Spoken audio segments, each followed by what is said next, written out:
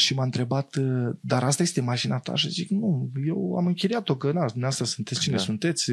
Așa am primit indicații de la agenția angajatoare, aveam în spate o da. agenție da. foarte puternică și zice, dar tu ce mașină conduci? Păi am o mașină românească, recunosc că aveam da. atunci o Dacia Logan. Păi mâine cu aceea vii. Părinte, am o nebunie. Vreau să fac turism aici, vreau să se întâmple mm. ceva. Mă tot oprea poliția, tot trebuia să, să umblu la portofel ca să pun ghilimele da. de rigoare și mă săturasem, să fiu sincer. Vreau să spun că americanii erau exaltați de, de, de uh, această experiență. Când am ajuns pe autostrada în Odessa, am realizat că n-am suficient de benzină, dar n-am nici bani. Și atunci s-au apucat de scos cartofi cu oamenii de pe câmp. Ecusonul tău de ghid român este fără valoare. Eram cu patru, patru americani când am pus o mașină de 3 tone pe uh, bacul respectiv și la care uh, cel care conducea bacul sau ce făcea el acolo și zice, a, dar asta nu-i problemă, tot, tot normal. Gândește că am fost ghidul unui mafiot. Am reușit să creăm un pachet turistic cu poștașul satului, da? cu apicultorul, cu fierarul, cu cojocarul. și ne-am cazat undeva la Comrat, în Găgăuzia, într-un, uh, într-un hotel care se numea Playboy. Deci, voi n-ați vândut un tur, voi ați vândut o experiență. Că am stat 14 ore în vamă. Da? La Oancea am stat 14 ore, nu ni s-a permis să coborâm din mașină. Bucovina, din păcate, pierde foarte mult pe partea aceasta de activități. Iar într-o iarnă, o iarnă foarte friguroasă, a trebuit să ieșim din casă forțat și să, din păcate, casa să fie demolată. A fost integrat într-un program care se numește Moldova Secretă. Știți ce mi-a spus uh, ce mi-au spus ei, de fapt, uh, îți mulțumim că ne dai voie să fim normali. Uh, ceea ce ai spus uh, pentru mine sunt emoții.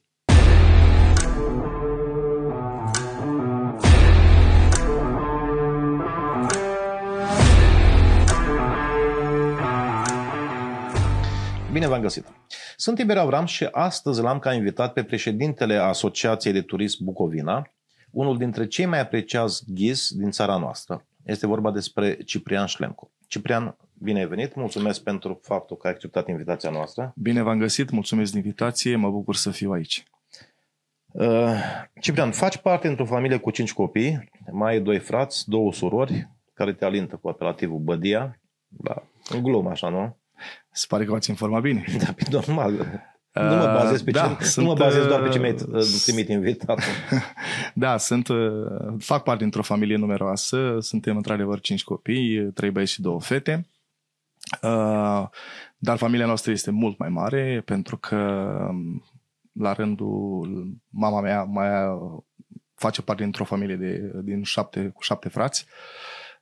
Cinci mai sunt în viață astăzi, din păcate două surori s-au prăpădit Tatăl meu, la fel, uh, Dumnezeu să-l odinească, la fel făcea, făcea parte dintr-o familie destul de numeroasă, tot șapte copii.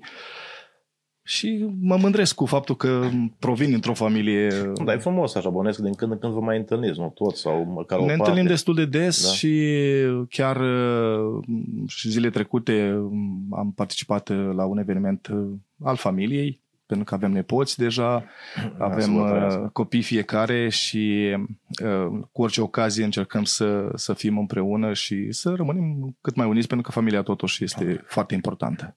Da, că cea mai importantă până la urmă. Absolut. Da. Uh, bun, până la șase ani ai crescut la bunicii din partea mamei în Bărzești Vaslui.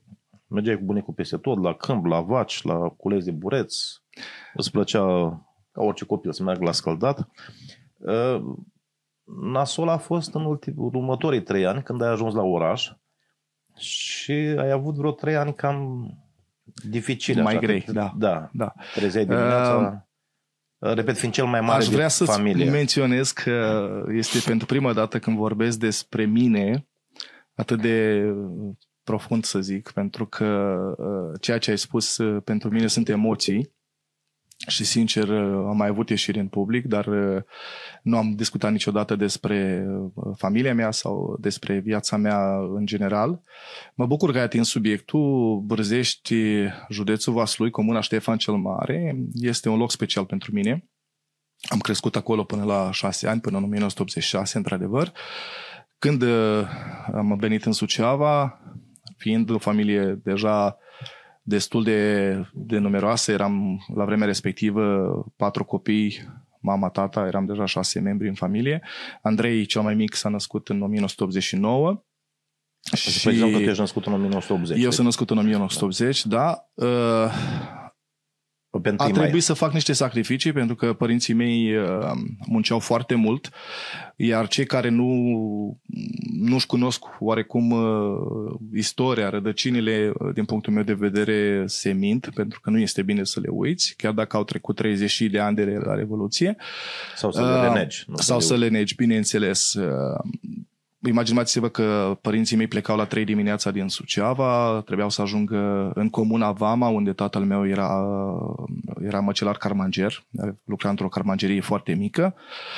Dacă îmi permit să fac o paranteză, cred că a fost o pedeapsă din partea sistemului la vremea respectivă, pentru că la un moment dat chiar a fost trimis și la mine de la Crucea, ca șef de restaurant, cu toate că el nu era pregătit pentru asta. Iar atunci cineva trebuia să aibă grijă de cei mai mici. Atunci, în fiecare dimineață, mi-amintesc din 1986 până în 1990, zi de zi, zi de zi, de luni până sâmbătă, la 4 dimineață eram în fața alimentării vis-a-vis de Poliția Mare, unde primul la rând era șeful de scară, informatorul șef, dacă îmi permit să spun, iar al doilea eram eu. Pentru că trebuia să merg la școală, la ora 7 trebuia să merg la școală dar trebuie să, să, să uh, mai spun ceva. Era la rând ca să cumperi lapte. Să ca să cumpăr lapte, pâine, unt, mi-amintesc acele blestemate de cartele, jumătate de pâine, la un moment dat uh, un litru de ulei. Uh, țin minte că aveam un coș pe care nici în ziua de astăzi nu mai pun mâna pe el, era un coș de plastic care mă tăia efectiv la mâini, eram un, eram un țânc, eram un copil micuț. Uh, și trebuia să fac acest efort, dar trebuie să-ți mai spun un lucru foarte important. În 1989, din păcate, um, sistemul comunist de la vremea respectivă, știți că a început o, o mare industrializare a României și atunci casa noastră, căsuța noastră iubită de pe strada Mărești 11 a fost demolată și... Unde era asta? Ca Mărești 11 în ce zonă? Mărești 11 este actualul parc de piatră unde sunt cele două blocuri în formă de U sau trei ah, blocuri, chiar vis-a-vis de catedrală. Da. Era o casă austriacă extraordinar de frumoasă. Tatăl meu a iubit florile toată viața cu aproape un hectar de trandafiri și cu uh, zmeură și cu hăpșuni și cu altele. Iar într-o iarnă, o iarnă foarte friguroasă, a trebuit să ieșim din casă forțat și să din păcate, casa să fie demolată. Asta era în 89 chiar? Vorbim în 1988, scuze. Da, Bun, și v-au mutat undeva la un bloc. Am primit, da, am primit un apartament care nici măcar nu a fost dat în proprietate. Am, am, părinții mei au cumpărat apartamentul prin 1997. A fost, un, a fost o casă naționalizată uh, pe strada scurtă în spatele Spitalului Județean, la etajul 4, unde uh, mama locuiește și acum dar nu a fost un moment frumos pentru noi. Adică Evident. să știți că nu au fost doar lucruri frumoase în perioada respectivă. Sigur că am avut o copilărie extraordinară. N-aș... n-aș Am uh, trebuie să, cu toate greutățile astea, în momentul în care sunt mulți copii, Bun, și în familie, și în jur, copilăria e frumoasă. Este. Indiferent că te, te trezești dimineața la 4, să mergi la, la rând să iei lapte, smântână, iaurt, astea să uită sau exact, dar ce vreau, ce vreau să spun, că după toate aceste întâmplări sau după toate aceste copilărie și cu bune și cu rele, am învățat foarte multe, mi-au folosit în viață. Mi-aș dori ca tinerii de vârsta mea să, să ia puțin și de acolo și să folosească acele momente ca și experiență în, în viață. Da, ai pomenit, de fapt, am început, eu am pomenit de satul Bărzești, ai adăugat comuna Ștefan cel Mare, uh, de care ai spus că ești foarte atașat. Uh, promovezi acest sat, aduci turiști în zonă. Ce pot găsi în satul ăsta? Hai să râzi, Locuri dar... în care te scăldai? Glumesc nu, acum. Nu. Uh, vreau să revin un pic la, la momentul Bârzești, perioada copilăriei mele. În primul rând, faptul că aveam libertate să merg, să explorez, să văd, împreună cu fratele meu, Bogdan, care este cu doi ani mai mic ca mine, erau niște vii extraordinare în zona respectivă. Mai sunt și acum? Nu, din păcate nu, pentru că imediat după Revoluție a apărut acea lege 18, pământul a fost dat înapoi uh, uh, oamenilor. Dar, încet, încet, uh, când am ajuns în turism în 1999, pentru că aș spune că mă ardea dorul de, de copilărie, am spus, într-o bună zi o să duc turiști în satul în care m-am născut. Și atunci uh, uh, am mers la preotul din vremea respectivă, Dumnezeu să odihnească, nu mai este Părintele Manolache, și a spus, părinte, am o nebunie. Vreau să fac turism aici, vreau să se întâmple mm. ceva. Ce am putea noi să vedem? Ei, bunicul meu m-a purtat peste tot. Absolut peste tot, mai puțin, mai puțin uh, Cătunul Muntenești. Și aici o să fie o surpriză pentru tine. Cătunul Muntenești a fost uh, creat de bucovineni refugiați da, care au fugit din, din uh, Imperiul Austro-Ungar, au construit o biserică de lemn foarte frumoasă, vorbim de 1780-1790, cam aceea este perioada. Și, atu- și mi-am dat seama că, de fapt, acolo este o poveste foarte frumoasă. Uh-huh. Explorând, nici măcar preotul nu știa, explorând un pic cimitirul satului, pentru că uh, satul Bărzește are trei cimitire, cimitirul vechi care nu se mai folosește, cimitirul nou și cimitirul acestui cătun. Am descoperit cele trei scrieri ale bisericii în cimitirul respectiv.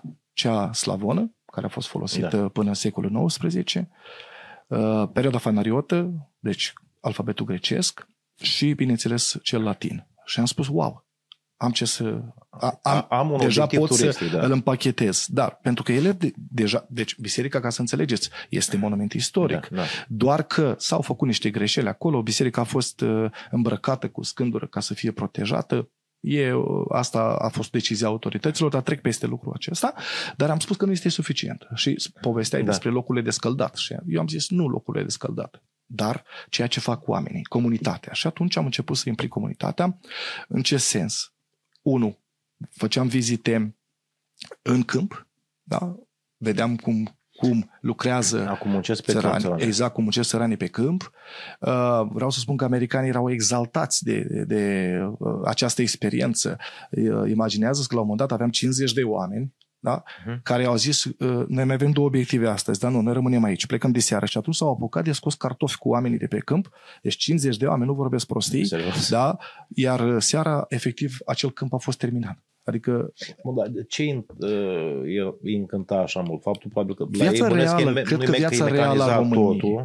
Nu, nu, ai să rămâi surprins, județul Vaslui încă nu este... Nu mă refer uh, la american. Bănuiesc că e mecanizat totul și probabil... Sigur, pentru ei era o, o chestie o nouă. Imaginează, așa, nu? sigur, o întoarcere în timp, pentru că, de exemplu, fac o paralelă, că tot ai spus da. de partea asta de mecanizare. Uh, nu știu cât timp avem, dar avem, să știu că eu am multe de povestit. Avem. Uh, am avut la un moment dat vreo 30 ceva de fermieri australieni care uh, am mers noi în, în, în niște ferme din România, inclusiv în insula Marea Brăile, atunci l-am cunoscut pe domnul Tărâță, Dumnezeu să-l odinească, și i-a arătat o combină cu o lamă extraordinar de mare și la care unul dintre australieni zic, hai să-ți arăt o combină. Și atunci vreau să spun că lama combine, cred că era cât clădirea unde ne aflăm, mă refer în da, lungime, da, da. unde ne aflăm acum. Deci uh, exista așa un paradox între tot ce vedeau ei și ce aveau ei acasă. Bun, Iar, un decalaj de timp, am putea Absolut, spune, un da? decalaj de timp. Dar cred că uh, ei înțelegeau că se află totuși în Europa de Est, țară fost comunistă, care este în, în, în, în într-o continuă dezvoltare, iar eu să-ți spun sincer, din 1999, de când, mă, de când sunt în turism, deci anul acesta 25 de ani de activitate, am văzut o Românie schimbată. Aș spune că, aș, că văd și astăzi o Românie schimbată, în bine, deci în bine. Mai avem foarte multe de făcut, dar asta este o altă, altă poveste. Iar uh, pe partea aceasta de turism rural despre care îți povesteam, a fost integrat într-un program care se numește Moldova Secretă dacă um, ar fi să dau o notă acestui program, a fost pentru că mie mi-a plăcut totdeauna să creez.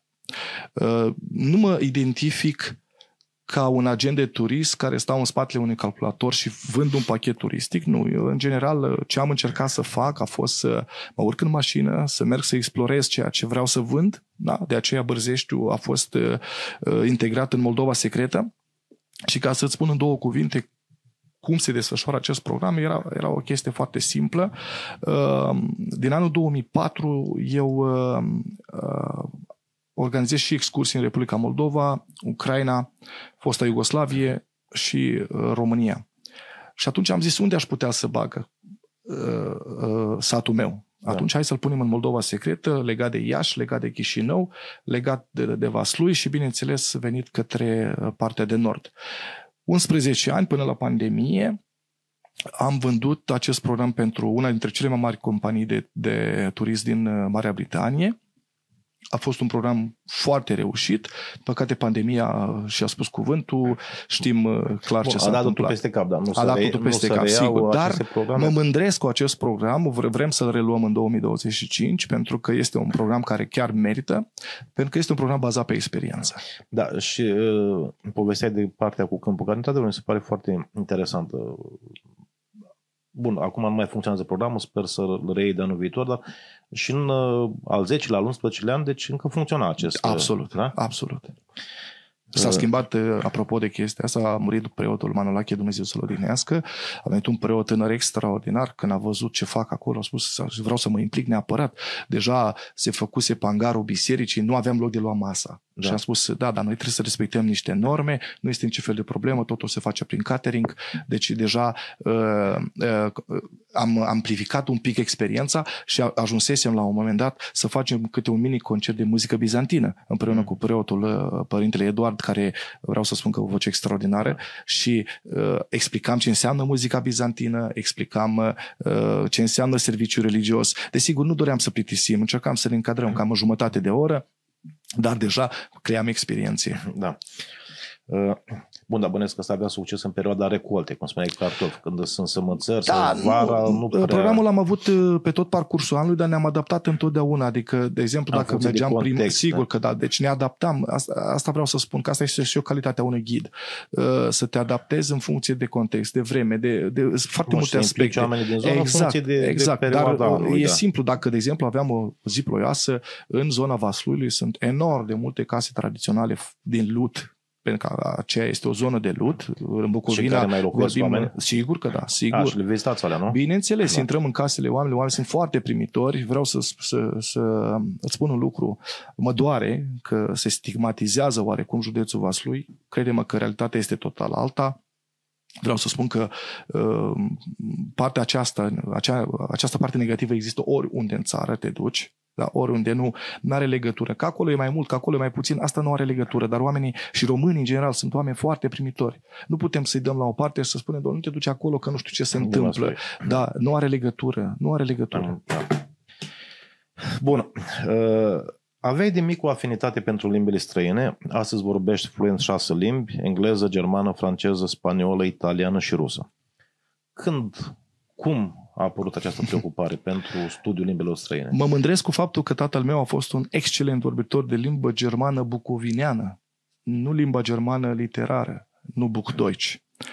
Uh, De mic copil, eu și Oana, o cunosc foarte bine, uh, să zicem că am fost singurii din cei cinci care am vrut să învățăm. Și cred că uh, primul pas a fost făcut de tata, care ne-a învățat cuvinte simple la început, după aceea a început să converseze cu noi în limba germană. Recunosc că astăzi nu mai vorbesc atât de bine, dar mă descurc, slavă Domnului.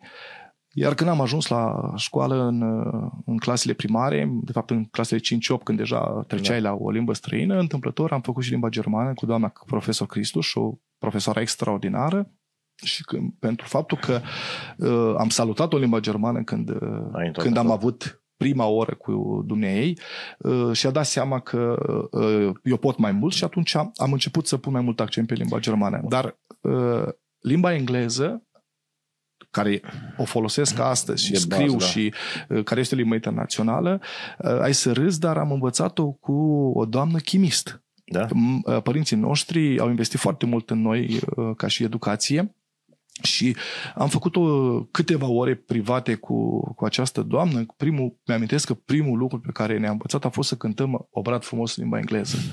Și mi-am dat seama că îmi place. Și atunci am început să, să urmăresc foarte multe filme în limba engleză cu subtitrare. Și astăzi fac același lucru, chiar dacă o vorbesc Da. fluent și am să spun de ce, ca să pot să, să învăț cuvinte noi, permanent vreau Mhm. să învăț cuvinte noi.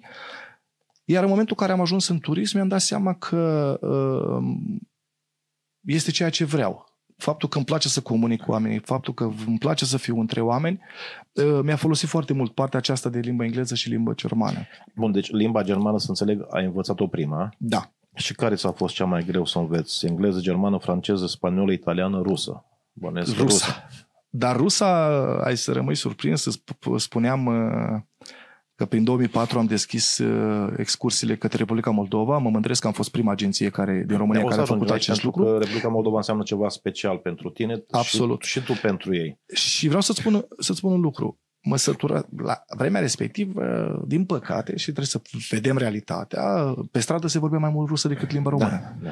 Și atunci, o dată de două ori, mă tot oprea poliția, tot trebuia să, să umblu la portofel ca să pun ghilimele da. de rigoare și mă săturasem, să fiu sincer. Și am spus, ghilimele, da, că asta era, era realitatea. Era realitatea, dar n-aș vrea să, să ne ducem da, tocmai acolo și atunci am, a fost o provocare și uh, prietenilor mei din Moldova le-am spus așa, ok, vorbim limba română, dar mai strecurați și câte un cuvânt în limba rusă, că vreau, să, mă, vreau să, să învăț. Și uh, să fiu sincer, uh, eu zic că am învățat limba rusă pe stradă. Da, adică cam așa, am, cam așa am învățat-o. Bun, Pentru că am ajuns și în Belarus, apropo, o să da, poate mai târziu. este o foarte ofertantă turistică. Acum, din păcate, cu războiul ăsta... Da, da, da mă rog. Situația nu este roz, asta este clar. Da, uh, să, rămân, să revenim la tine. După ce ai terminat școala gimnazială, ai vrut să te faci preot. Și asta știi. Păi, dar na. ai și fost, fost admis la seminar, dar da. nu ai continuat uh, studiile. Da. Ce s-a schimbat? Ce s-a întâmplat? Uh, da, este o, o experiență personală. Nu o să intru foarte mult în detalii. Uh, de mic, din clasa 5 mai, mai exact, mi-am dorit să, să merg la seminar. Uh, informația ta este bună, dar uh, Cred că Dar trebuie să spun, ceva. Cred că trebuie să lipsește ceva, dar eu mi-am dorit foarte mult să ajung profesor de religie. Și ai să crezi, uh, ai să, o să fie oarecum așa o surprinzător, dar eu am avut probleme pentru faptul că în clasa nouă, când am în primul an de seminar, uh, am, avut, am primit o întrebare de la preotul diriginte din vremea respectivă, de ce vrei să te faci preot? Și eu am scris, ca eram un copil sincer, nu doresc să fiu preot, doresc să fiu profesor da. de religie. Pentru ei a fost un șoc acest lucru, se pare că am ocupat locul altcuiva care uh, trebuia să fie acolo.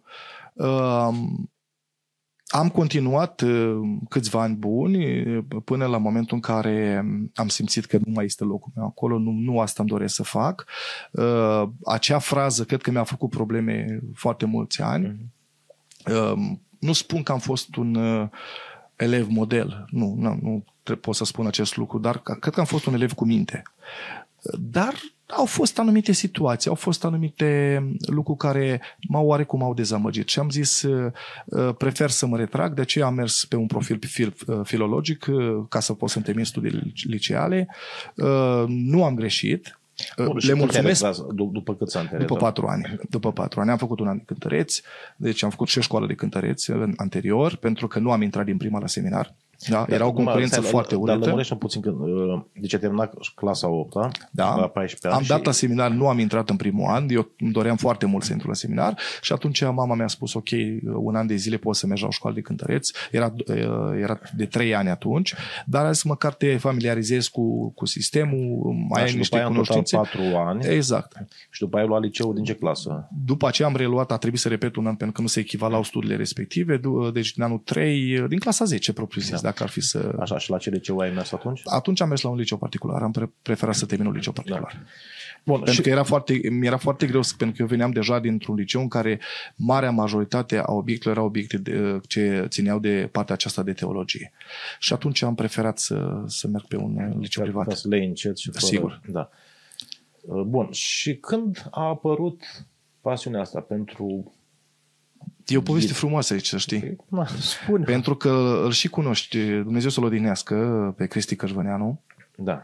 Da, prima agenție de turism din Suceava și sincer că mi-ai spus că uh, vrei să particip la acest podcast, uh, am, mi-am deschis mintea cu toate amintirile din ultimii 25 de ani și mi-amintesc foarte bine, 1 august 1999 a fost primul meu tur de mănăstiri.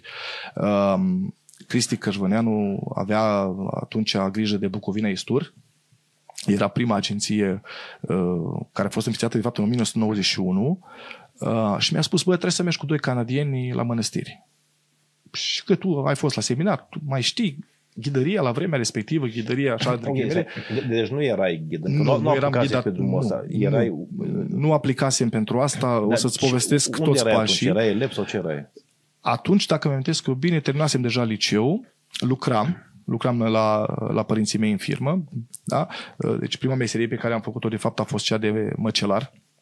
Și repet, întâmplător a fost acest lucru. Ne știam, ne cunoșteam. A, ok, deci te-ai la liceu, te-ai angajat exact. la părinte la firmă exact. ca măcelar exact. și te-a uh, sunat Cristi Cărvăneanu, exact. hai ajută-mă cu niște Ex- turiști. Exact. Tu... Și atunci mi-am dat seama, uh, mergând în turul acela de mănăstire, mi-am dat seama că îmi place foarte mult. Uh-huh. Uh, Cristi mi-a zis, uh, uite, o să, noi avem turiști destul de des, uh, îți dăm mașină, îți dăm șofer, sigur... Uh, Bun, și îți dăm și bani. Nu și bineînțeles, da. da. Bine, banii nu erau așa de mulți pe vremea respectivă, dar pentru un copil, da. la început de drum, era foarte ok.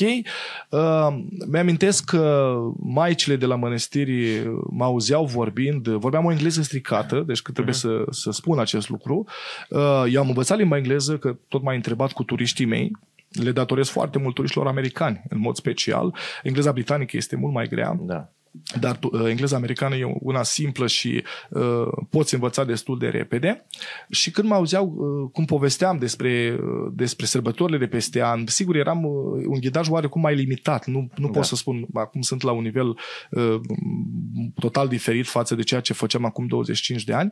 Și atunci veneau și mă corectau și îmi spuneau, uite, acolo ar trebui să spui asta, acolo ar trebui să mm-hmm. spui asta. Și le datorez foarte mult maicilor ghizi la toate mănăstirile din, uh, din nordul Moldovei, din Bucovina, pentru că au avut răbdare cu mine. Uh, le-am spus că am fost, uh, am ceva studii uh, teologice, s-au bucurat foarte mult și atunci mi-au dat tot suportul și cu ele încet, încet am învățat mănăstirii din Bucovina după vara 1000, da, 1999 în 2000 uh, am vorbit cu Cristi și am spus mi-ar plăcea să merg pe cont propriu. Da, bun, să revenim puțin la această zic, 1 uh, august 1999. Deci asta a fost prima ta experiență ca ghid, uh, un grup de turiști de unde? Din Statele Unite, nu, din Canada, scuze. Din Canada și unde ați? Unde Humor, Voroneț, Moldovița, Sucevița. Este ah. acest tur clasic care se făcea chiar de pe timpul Ceaușescu. Ah.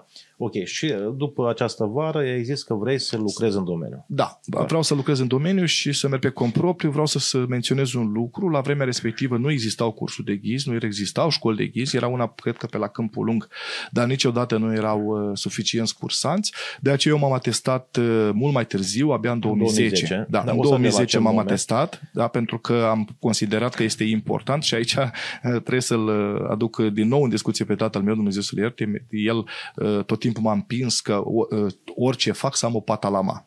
Și atunci da. am zis este bine să am și un atestat de ghid ca să, um, ca să pot lucra legal și să nu, nu am Bun, probleme. dar tu lucrai, uh, nu că nu lucrai legal, erai angajat al firmei. Sigur, dar, am fost angajatul trebuie... firmei părinților mei. Deci tot... Nu, după ce ai trecut la, la Cristi Cărvăneanu. Ai zis Dar să... nu, nu eram angajatul lui Cristi Cărvăneanu, nu. Dar erai nu. un colaborator. Eram colaborator, nu. nu. Și N-am fost angajatul nimănui niciodată, da, decât o... a părinților mei. Și a tău și al meu. Da. Și trebuia, deci să fie acel atestat de ghid, ai zis, nu? Da. Da, pentru a fi oarecum, să spunem, în legalitate. În legalitate, exact. Da. Tu ai luat acel atestat în 2010, când deja aveai 10 ani de experiență. 10 ani de experiență, da? exact. Ce presupune acel atestat? Păi... Deci niște examene, nu? Sigur. Școlarizarea durează undeva la 9 luni care acum, dacă mă întreb pe mine, este foarte puțin. Da, pe să mă și puțin, uh, dacă te ar, mai puțin, Parte de teorie, și istorie și geografie. Sigur că da. Și în Grecia, străine. de exemplu, școala de ghiz durează trei ani. În Israel durează, cred că, tot trei ani. Uh, se fa- în, știu că în Israel se face universitate pentru a, pentru a deveni ghid de turism. Uh, dar în aceste 9 luni aveai aproape 80% partea de teorie, care, sincer, este foarte slabă din punctul meu de vedere, iar partea practică era foarte puțin eu am avut marele noroc pentru că cei 10 ani în care am lucrat fără atestat, dar nu este niciun secret, uh, mi-au folosit, a fost ușor pentru mine să fac acel, da. acel curs, a fost mai mult o formalitate, iar după aceea am intrat în, uh, în legalitate ca ghid de turist, dar eu deja în 2006 aveam propria mea firmă, da, firmă Hello de Bucovina Travel Tours. Da. da. Uh, Bun, până la urmă era o formalitate și după aceea se diferenția, să decanta uh, între ghiz în funcție de valoarea exact. și pregătirea fiecăruia. Exact. Bun, ai menționat, în 2006 ai înființat firma Hello Bucovina Travel Tours uh, și mi-ai trimis o prezentare a firmei în care am spus câteva lucruri. Spuneți că ați condus peste 10.000 de turiști până în prezent, iar în prezentarea agenției se menționează, citez, Printre cele mai notabile activități de turism pe care le-a organizat firma noastră sunt circuitele personalizate, furnizate unor personalități cunoscute la nivel mondial din lumea modei, afacerilor, sportului, diplomați, ambasadori, industria muzicală, am încheiat citatul. Ce personalități, evident, dacă ne poți spune, și ce înseamnă acest context personalizate, tururi personalizate? În limba engleză, termenul este tailor-made tours, adică înseamnă să creezi un tur personalizat pentru grupurile mai mici. Tururile personalizate în general uh, sau private tours, ca să fie mai, mai explicit, aceste tururi private, în general uh, se creează în funcție de dorința clientului. Și um, să-ți dau un exemplu, că pot mai întreba de personal. Pentru mine rămân, rămâne o mândrie că am fost ghidul personal a proprietarilor uh, companiei Estée Lauder sau Estée Lauder în limba engleză și chiar și acum mi se face pielea găină, să fiu sincer, pentru că mi-amintesc, m-am dus, la, m-am prezentat la, la cursă, uh, îmbrăcat la costum, cravată, ceea ce nu mă reprezintă. Da. Credem și acum port cămașă, dar eu sunt în un tricou relaxat în general. Uh, iar primul lucru care m-a, m-a întrebat uh, domnul Lauder, domnul Robert Lauder, a fost dacă așa mă îmbrac eu în fiecare zi. Și am spus, nu, eu de obicei sunt în tricou, tricou și un, un jeans uh, și mi-a zis, ok, mâine așa trebuie să vii. Uh, închiriasem un BMW, o mașină foarte scumpă, erau foarte scumpe da, mașinile da, da, da. în perioada respectivă și m-a întrebat... În ce an era asta? Să, să-mi amintesc, în 2007, 2008, nu mi amintesc exact okay. anul, uh, și m-a întrebat, uh, dar asta este mașina ta? Și zic, nu, eu am închiriat-o, că na, dumneavoastră sunteți cine da. sunteți, așa am primit uh, indicații de la agenția angajatoare, aveam în spate o da. agenție foarte puternică, și zice, dar tu ce mașină cumperi? Păi am o mașină românească, recunosc că aveam da. atunci o Dacia Logan. Păi mâine cu aceea vii. Și zic, bine. Nu pot să uit că se lucra la podul de la Ițcani, unde pe, de fapt, aproape de pod, între Petrom și pod, se lucra, era un dezastru. Atunci era Suceava, era un întreg da. șantier uh, și am rămas surprins de răbdare pe care a avut-o acel om. Deci cu toate că și spus, trafic, da. asta este. Și am ajuns la Dragomirna, la mănăstirea Dragomirna, unde îți spun cu toată cinstea, nu am crezut că voi sta patru ore cu ei acolo. Nu am crezut. Am făcut o prezentare a mănăstirii, a venit mai castareț, am luat masa în trapeză. Știți ce mi-a spus, uh, ce mi-au spus ei de fapt? Uh, îți mulțumim că ne dai voie să fim normali. Pentru mine a, a fost suprem. Am zis, uh, pentru faptul că eu nu fac diferență între turiști, pentru mine a fost un succes. Am lucrat cu, uh, cum să zic, și cu turiști care erau grădinari sau lucrau în serviciu public. Am lucrat și cu miliardari dar nu am făcut niciodată diferență. Uh, am fost inclusiv adică ghidul... diferență, da, la toți le prezenta la fel, indiferent Absolut. de pregătire. De... Gândește că am fost ghidul unui mafiot. E, e premieră ce-ți spun.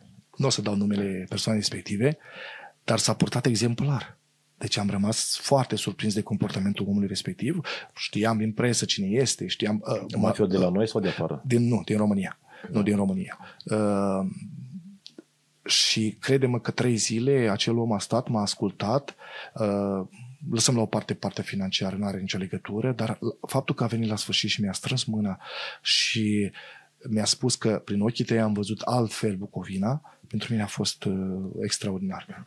Evident că cred că asta e cea mai mare satisfacție, evident și partea financiară, Sigur. dar bun, spuneai tururi personalizate, Uh, acestea sunt în funcție, o dată ai spus, de cerințele clienților. Da? Și din, dacă și... e artist, dacă e un de afaceri, uh, bun, ce își dorește el, dar bănesc să veniți, vei și tu cu sugestii. Bineînțeles, dar trebuie de... să știi un lucru foarte important și asta este pentru, pentru toată lumea.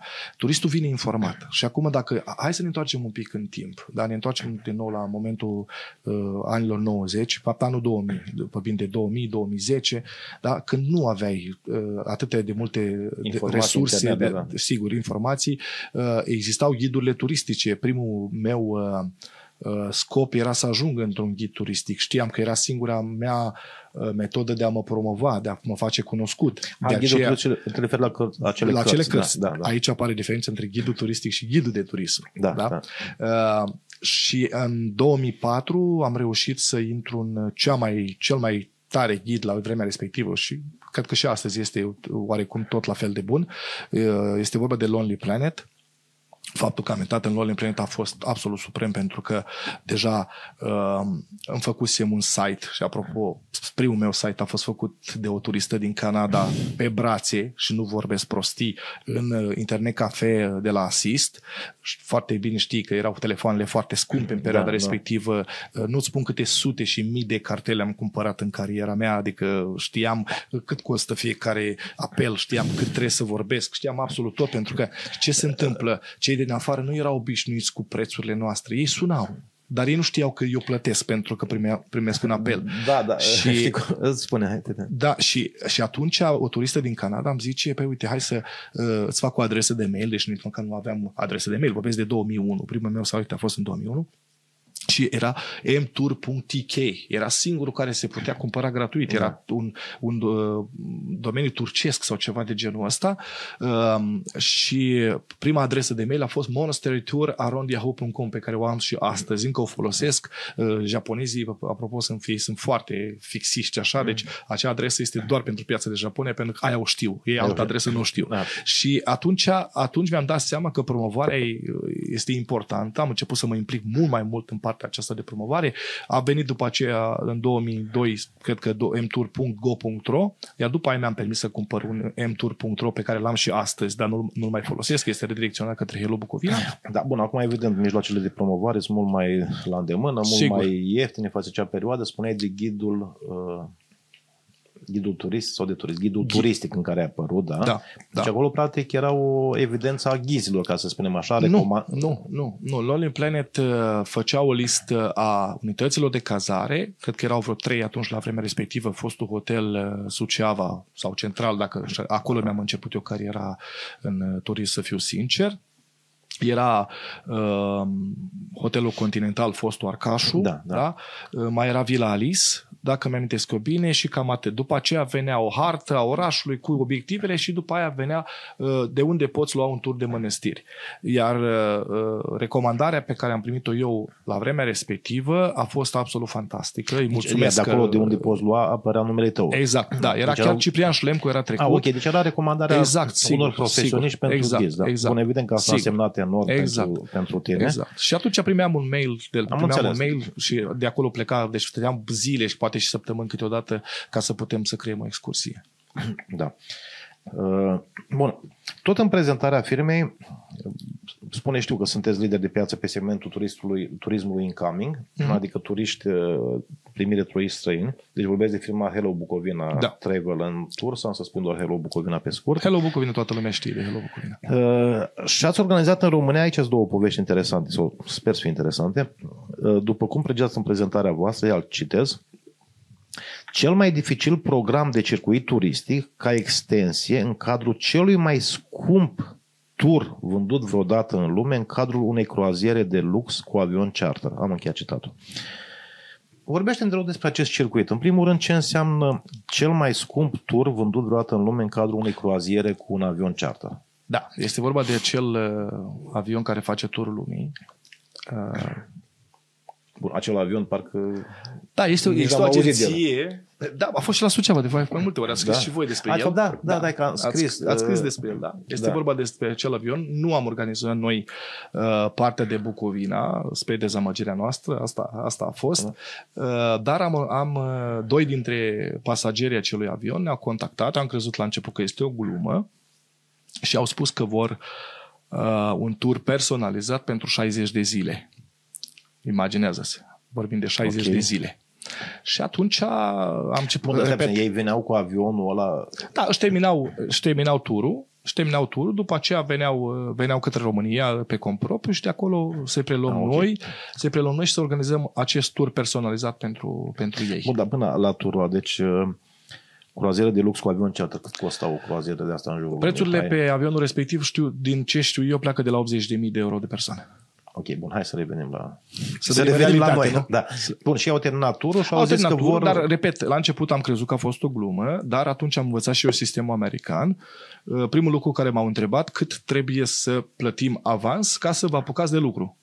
Adică, chiar dacă acceptau sau nu acceptau oferta, faptul că noi munceam pentru a crea acel tur, acel, ca să creăm acel, acel tur, tur da, eram plătiți pentru acest lucru. Da, bun, mi se Noi pare nu am normal. cerut o sumă foarte mare, am spus că, am, deci, repet, când am văzut mail-ul, un pic, uh, așa am avut un flash, pentru că, sincer, acum primim și spam-uri, primim și Da. uh, poate și mail-uri uh, de la concurență care nu vor să muncească ei și să muncească alții Da. pentru ei.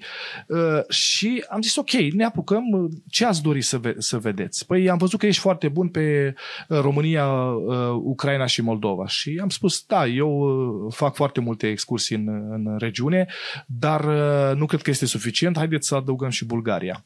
Și atunci am făcut un, am creat un tur pentru 60 de zile, a fost cel mai lung și cel mai scump tur vândut vreodată în România pentru două persoane. Dar nu o să spun suma, deci să nu-mi cer, te rog, să, Da. să spun suma, că nu o să o spun, nu o să o fac publică niciodată. Deci pentru asta că se întâmpla în e fu- 2018, nu? în 2018, da. da. Uh, Este vorba de confidențialitate între noi și client. Evident. Uh, și atunci am început să, Da, mă, să e- luăm... Suma e mare. De fapt, e cel mai scump tur vândut. Na, e Exact. Clar. E o sumă foarte mare pentru două persoane, dar, uh, repet, uh, uh, oamenii, uh, chiar am semnat un contract de confidențialitate cu ei și atunci am început să punctăm, uite, asta putem să facem, A, au cerut doar apartamente, Doamna uh, avea o problemă la un picior, a pus condiție ca în orice hotel îi cazăm să nu existe trepte, da? Deci bun, a fost o provocare pentru noi. Um, Bun, adică să nu existe trepte, să existe lift sau să să, existe... nu, să nu ex, deci să fie cazați tot timpul la parter și să fie tot timpul rampă pentru persoane cu Ok. dizabilități, cu toate că nu avea nevoie, mergea normal, dar din păcate ea nu putea ridica piciorul mai mult de 2 cm sau Așa, atunci merge, Uh, și urca atunci pe rampă, da. urca pe rampa respectivă. Uh, am reușit să găsim toate aceste hoteluri, doar apartamente la parter, cum și-a dorit. Un singur hotel, uh, cum zice românul, a dat-o de gard, dar nu rău, a fost ok, adică am reușit să remediem situația Unde? La- respectivă. la Am pierdut Suceava? două puncte, că eu îmi fac și un rating tot Da, da. timpul la fie, orice excursie fac și ziua de astăzi, crede-mă că uh, îmi fac un, așa un, un rating propriu. Am pierdut două puncte acolo, deci aici undeva la un 9,8 Dar unde era hotelul ăsta? în Bulgaria, nu în România. Bulgaria. deci în Bulgaria a fost, dar uh, n-a fost chiar o problemă, adică n-aș da nici vina pe ei. Asta a fost, adică poate ei nu și-au dat seama, poate că poate n-au văzut treapta respectivă, Da. se, se pot întâmpla, să știi că și în turism sunt scăpări. A, deci poate, era o treabă, nu? Sigur, că o treaptă. Asta Atât. a fost, uh, a fost uh, treaba. Iar uh, uh, pot să spun că am mobilizat uh, patru ghizi, patru mașini, patru ghizi. Eu am făcut partea de uh, Moldova, Ucraina și o parte din România. Colegii mei au făcut uh, uh, cea mai uh, partea de Bulgaria și încă o parte de România, pentru că am spus așa, 60 de zile pentru un singur om este enorm. Enorm, da. Deci uh, e prea mult. Adică nu, nu cred că ar fi rezistat cineva 60 de zile. Ei, vreau să spun un lucru. Oamenii aceștia, uh, în momentul în care am terminat excursia, deci am adunat toți ghizii, deci ne-au îmbrățișat pe toți, au plâns efectiv când au plecat, au spus că speră să revină uh, când uh, uh, vor mai putea. Bineînțeles că a venit pandemia, războiul și acum uh, știți cum e, uh, dacă sunt sănătoși și o să dorească să mai călătorească, cu siguranță o să o, o facă cu noi. Uh, pentru că au spus atât, voi n-ați vândut un tur, voi ați vândut o experiență. Noi am plătit acest tur, am primit toate serviciile pe care, uh, pe care le-ați trecut în contract. A fost un contract foarte, foarte bine uh, conturat și f- cu condiții foarte clare, dar voi ați vândut o experiență, pentru că dacă îmi permiți, o să intru eu într-un subiect separat. Uh, Noi deja din 2018 începusem un proiect pilot la Dolhești Mici, în uh, județul Suceava, apropo de partea aceasta, pentru că eu sunt iubitor de, de, de sat, sunt iubitor de turism rural în general, uh, unde ei au fost primii turiști. Primii doi turiști, uh-huh. ei au fost. Uh, familia Ciocârlan, îi salut pe, pe această cale, au fost absolut fabuloși. Deci i-au primit uh, ca și cum erau parte din familie. Gândește că la Dolhești am reușit să creăm un pachet turistic cu poștașul satului, da? cu apicultorul, cu fierarul, cu cojocarul. Bun, și poșta, bă, apicultorul înțeleg, feralul, dar poștașul... Îți explic imediat. Domnul Gheorghiță Ciucărlan este uh, conducătorul ansamblului artistic Străjerii. Cu siguranță cunoște ansamblu. Da. Și este atât de iubitor de România omul ăsta, încât a zis, ce vrei tu, aia facem. Și am spus, nu. Mie nu-mi place conceptul sau ideea de ce vreau eu, aia faci. Nu, hai să lucrăm împreună. Ce am putea să le arătăm? Ce Da, putem faceți să ce vreți facem? voi și- exact. da, da. Doar că eu vă corectez, pentru că ce se întâmplă? Câteodată noi avem um, intenția de a exagera. Uh, Suntem prea Dar ospitalier le-a prezentat mult mai mult Exact. decât Și trebuie, atunci da, l-am uh, ponderat un pic, i-am spus, uite, așa ar trebui să facem, hai să, să găsim această uh, cale de comunicare, ca să spun așa. Și atunci am zis, ce le dăm să mănânce? Păi ce avem? Bineînțeles, asta le dăm. Ce avem? Adică dresala de Dolhești, care este, din punctul meu de vedere, trebuie să fie un brand. Clar. Acea tochitură moldovenească, pentru că ne, s-a atras atenția Dolhești, nu este în Bucovina, deja, este, da. da? Și am spus, eu consider că totuși tot ce înseamnă Suceava deja e Bucovina pentru mine, nu are relevanță. Dacă e Dar dincolo de graniță, este adevărat, da. diferă puțin costumul tradițional, un pic și accentul. Sunt niște lucruri care într-adevăr diferă, dar nu asta este important. Și atunci s-a făcut o masă simplă, da? Le-am explicat turiștilor, este ce mănâncă ei acasă, nu este ce găsiți într-un restaurant. Nu o să găsiți dresală în Da, restaurant, da. că au inventat ei ciorba rădăuțeană și la Telorman, asta e Robert, altceva, da? dar nu are uh, uh, legătură. Și atunci, efectiv, uh, acești turiști au fost atât de impresionați și ne-au spus, voi trebuie să continuați cu acest proiect, voi trebuie să uh, îl dezvoltați și de la doi turiști în, uh, uh, atunci, în, deja în 2019 avem 800 de turiști 800 de turiști care... ce care fac? i-am dus în Dolhești. Da? Prin, ok. Deci eu în mod direct, cât și colegii mei. Deci am atâta de mult am tras de colegii mei din țară, bă, mergeți să vedeți. Au, oamenii aceia au făcut rabat la prețuri, ca să fie uh, prețurile cât mai mici, doar ca să convingă. Și au convins, ac- acum sunt pe picioarele lor, se promovează singuri. Uh-huh. Eu, cât am putut, le-am zis, am făcut și în continuare îi promovez de aceea și vorbesc de acest pro- proiect pentru că mă mândresc cu el. Și sper ca satele din Bucovina, că aici să știi că e o problemă, să ia exemplul lor, pentru că deja în Bucovina s-au pierdut foarte multe lucruri. Vreau să spun că eu eram obișnuit cu un alt fel de turism în Bucovina. Astăzi este un turism comercial, din păcate. Da, o, o să vorbim și despre asta. Dar vreau să te întreb, uh, tot am pomenit de Republica Moldova. În Republica Moldova ești considerat opera, ca fiind operatorul de turism care a adus cei mai mulți turiști străini și care a deschis piața moldovenească pentru exterior, pentru călători de pe continentul american și asiatic. Da. În 2013, uh, da, este adevărat, în 2013 uh, am dat un interviu în presa din Moldova. Nu știu dacă sunt cel mai mare, dar cred că am fost cel mai curajos. Pentru că um, Moldova a fost o provocare. În 2004, tot prin intermediul unor turiști din Republica Moldova, am ajuns acolo. Este o țară fabuloasă. Deci e o țară extraordinar de frumoasă. Niște oameni superbi. Dar trebuie să, să recunoaștem că sunt și minusuri. Da, în perioada, aș zice eu, în perioada 2004-2010 pentru mine a fost foarte greu. Pentru că nu găseai hoteluri, da? nu găseai ghizi. Știți cum e? E greu să, să controlezi tu totul. Ai nevoie și de ajutor în jobul da. ăsta. Nu poți, nu poți să spui, uh, pot să fac trei de Ciprian Șlemco sau, sau alți colegi care sunt la fel de buni ca mine și poate mai buni ca mine, da? Nu, poți să, nu, nu putem să ne multiplicăm. De aceea avem nevoie tot timpul de ajutor. Uh, a fost greu. A fost greu. Și îți dau un exemplu, 2009. A fost un dezastru. De ce? Pentru că a fost acea revoluție din, din 7 aprilie, aveam grupuri confirmate, eu nu puteam să intru în Republica Moldova. Am avut viză de Republica Moldova. Crede-mă sau nu. Prietenii mei din Moldova au stat sub birourile de la Ministerul Afacerilor Externe din Moldova să-i convingă că nu sunt spion. Da? Pe lângă faptul că am stat 14 ore în vamă. Da? La Oancea am stat 14 ore, nu ni s-a permis să coborâm din mașină. Bun, și era, erai cu turiști. Eram cu turiști, da. De unde erau? Din Spania, un grup din Spania, da. Bun, și, au înțeles, și au avut au răbdare. înțeles, au avut răbdare.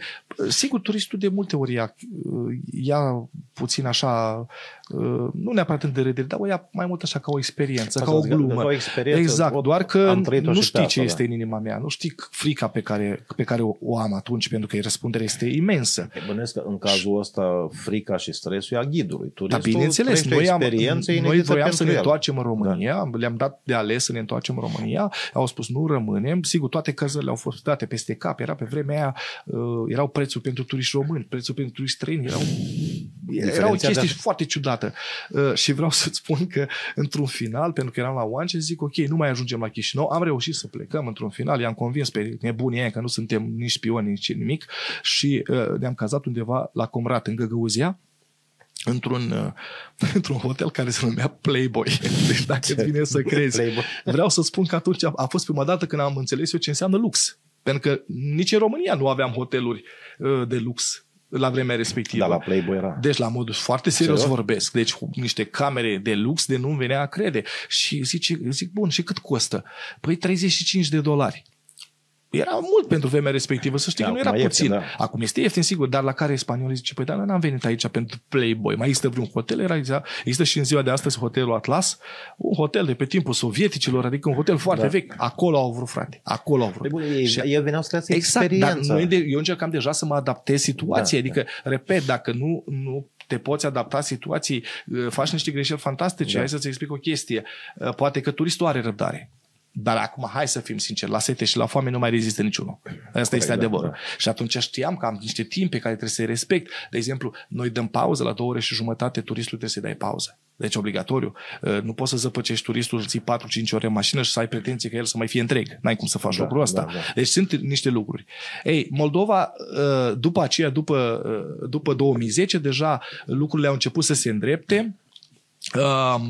Uh, Cine a scris uh, este, cred că fosta ta angajată, Oxana, Oxana Grealcenco, Oxana Grealcenco, da. da, o fată fabuloasă care mi-a dat zeci de contacte în Republica Moldova, m-a ajutat să, să Da, uh, ea e organizez. foarte implicată Da, în tot. foarte implicată și uh, ea a scris acel articol. Uh, Într-adevăr, deja aveam un număr impresionant de turiști. Până în 2015-2016 eram singurii care organizam uh, excursii în Republica Moldova. După aceea am, am făcut loc, loc pe piață, ca să zic între ghilimele, și altor colegi din țară, pentru că eu nu mai făceam față la, la volumul de locuri pe care, pe care era. În 2019 a fost o nebunie, 2013 la fel a fost o nebunie, ca să înțelegi. În 2013 am muncit 115 zile fără să mă opresc. Adică era nebunie în vremea Da, respectivă. Atunci a fost, cred eu, că perioada de înflorire uh, a turismului românesc, 2013-2019, uh,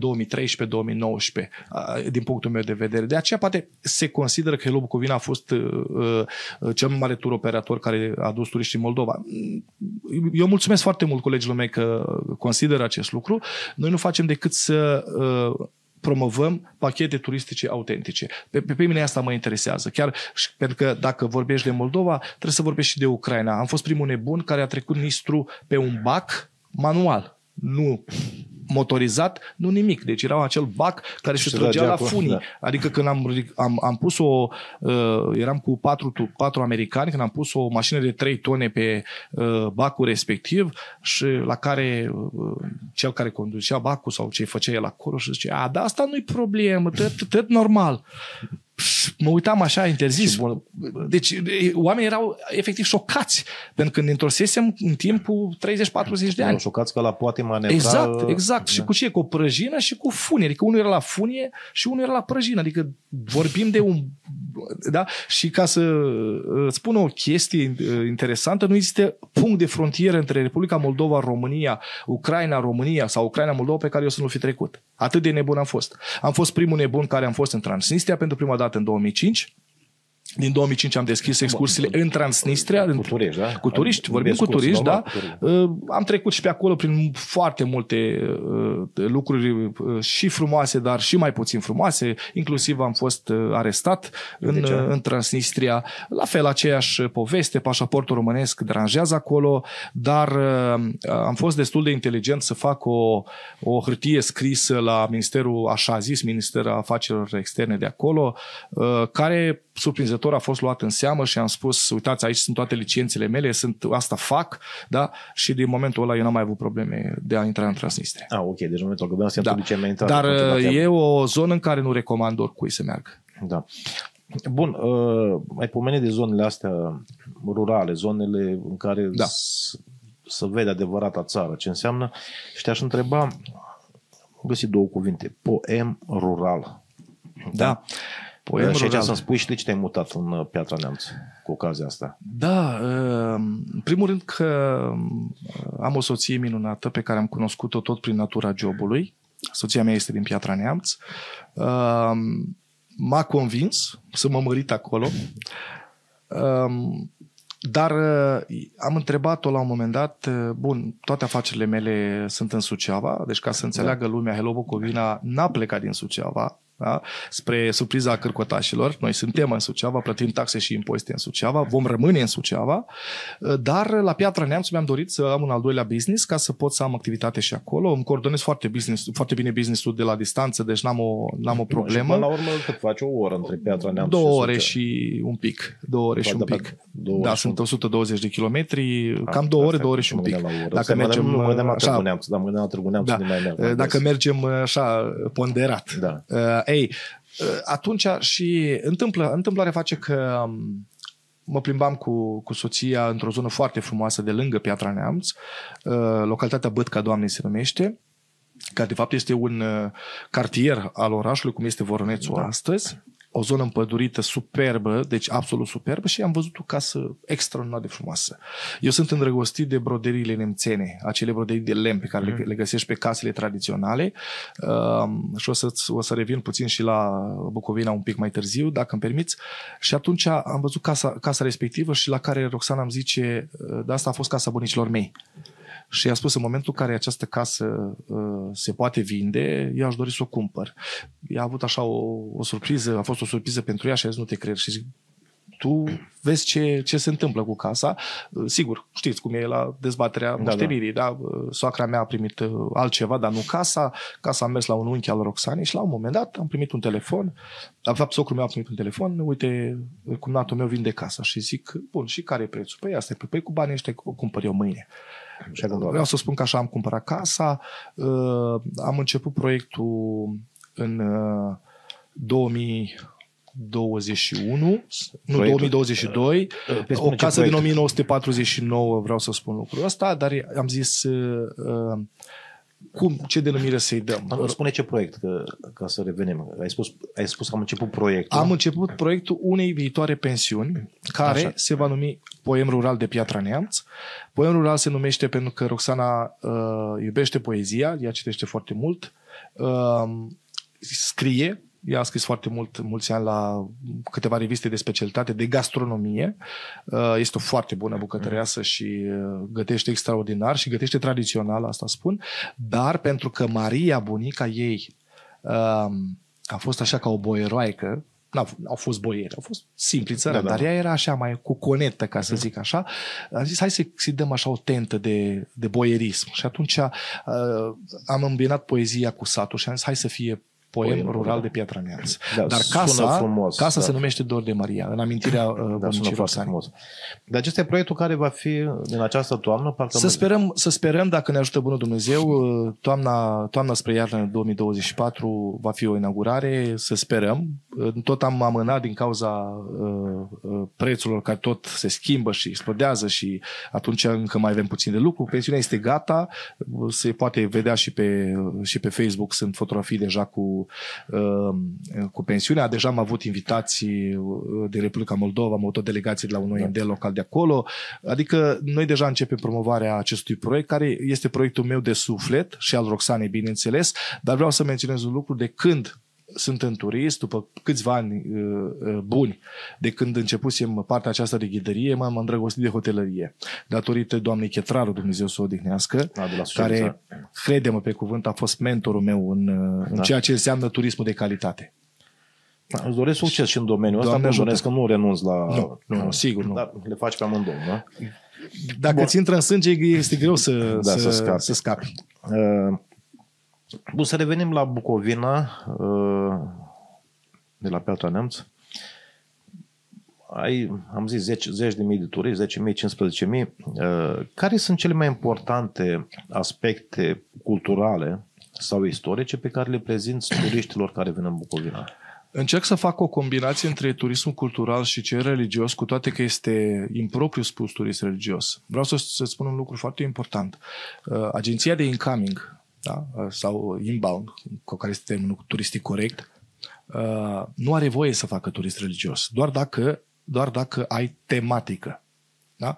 Dacă ai, de exemplu, cum am avut uh, cu eu câțiva ani la rând, uh, turiști de la, din Biserica Anglicană, care din start au spus este pelerinaj, atunci îi dai tenta religioasă. Dacă este un tur cultural, atunci te menții la nivelul de turist cultural. Și atunci eu vreau să, eu încerc să fac o combinație între perioada medievală pentru că avem cetatea de scaun la Suceave, care este absolut superbă. Perioada mai târzie, și aici te agăți un pic, dacă vrei, de începutul modern al României, deci perioada uh, monarhiei, da? Sigur, nu lăsăm la o parte partea austriacă și aici mă mândresc cu faptul că am uh, reușit să introduc în Suceava City Tour uh, gara Burdujeni, care este absolut spectaculoasă uh, sala, acea sala balului da. care, uh, vreau să spun, uh, la un moment dat aveam un grup de izraelieni și și-au dat seama ce acustică frumoasă și au început să cânte uh, Hava, Nagila Hava și vreau să spun că toți călătorii i-au, i-au auzit și s-au adunat acolo. A fost un spectacol absolut uh, grandios. Iar bineînțeles partea de parte, pe Suceava vorbesc, deci vorbesc deocamdată pe Suceava, că o să mă duc puțin și mai, mai departe într-o secundă, uh, nu lăsăm la o parte parte etnică. Uh, nu știu dacă tu știi, dar eu provin dintr-o familie, uh, familie de ruteni. Da? Noi suntem ruteni ucrainieni, dacă vrei, doar că vorbitori de limbă germană, da. că asta a fost uh, situația. Foarte mulți ucrainieni și-au pierdut limba, dar au învățat limba germană, cum a fost și cazul nostru. Și atunci avem partea armenească, avem partea germană, avem partea evreiască, da? și bineînțeles partea centrală unde încercăm să ne ducem cât mai mult în istorie, Muzeul de Istoria Bucovinei, care este absolut spectaculos, și de acolo pe partea de mănăstiri combinate cu natură, combinate cu partea de gastronomie și combinate cu, uh, cu extra activități atât cât se poate. De aici vine durerea mea că Bucovina, din păcate, pierde foarte mult pe partea aceasta de activități. De extra activități. Extra activități, pentru că Ehm, avem două muzee a oului încondeiat, într-adevăr, dar din punctul meu de vedere nu este suficient. Nu, dar tu, uh, la ce te referi când spui extra activități? Extra Ceva activitățile... legat tot de turism, de tradiție? Bineînțeles, turism, tradiție, experiențe, la asta mă adică refer. Adică la muzeul încondea să încondezi ouă sau genul Da, dar mi-aș dori mai mult uh, să nu fie doar la muzeul încondea, mi-aș dori să fie la familie cum era odată. Și nu, am înțeles, să merg la muzeul să... lemnului să exact, poată ciopli, la, exact, la asta te referi. Exact, da? la asta mă da, refer, da. da. Dar din păcate aceste experiențe se pierd încet, încet și inclusiv în partea de sate. Deci în partea de sate uh, nu mai lucrează lumea, e, e greu. E greu. Să știm că nu mai lucrează la grădină. Așa găsești este, oameni păcate, să, da. Nu găsești oameni. Da. Uh, bun, da. La câte mii de turiști au trecut uh, prin Bucovina? Care au fost obiectivele care le-au, știu, nu știu, au impresionat cel, cel mai mult? Din punctul meu de vedere, mănăstirile rămân top. Rămân top, mănăstiri, da. De, atâta timp cât noi avem aceste mănăstiri, din punctul meu de vedere, Bucovina pentru asta va fi cunoscut. Avem, știți cum e, primim foarte multe distinții. Și Suceava a primit un premiu, premiu de excelență, Bucovina la fel, mănăstirile la fel, dar să știi că turistul oricare, de orice colț al lumii. În momentul în care ajunge în nordul României, se uită, mă duc la Botoșan, ce pot să văd? Păi cam centru civic și cam atât și o biserică, două aici, colo, dar alea nu le spun nimic. Da. Dar mă duc în Bucovina, wow, pictură din 1530, pictură din 1532 și da. tot așa. Și atunci omul spune, când vezi o pictură originală, 100%, da, de 4-500 de ani, adică și eu aș vrea să mă duc oriunde da, lumea asta să văd acest lucru.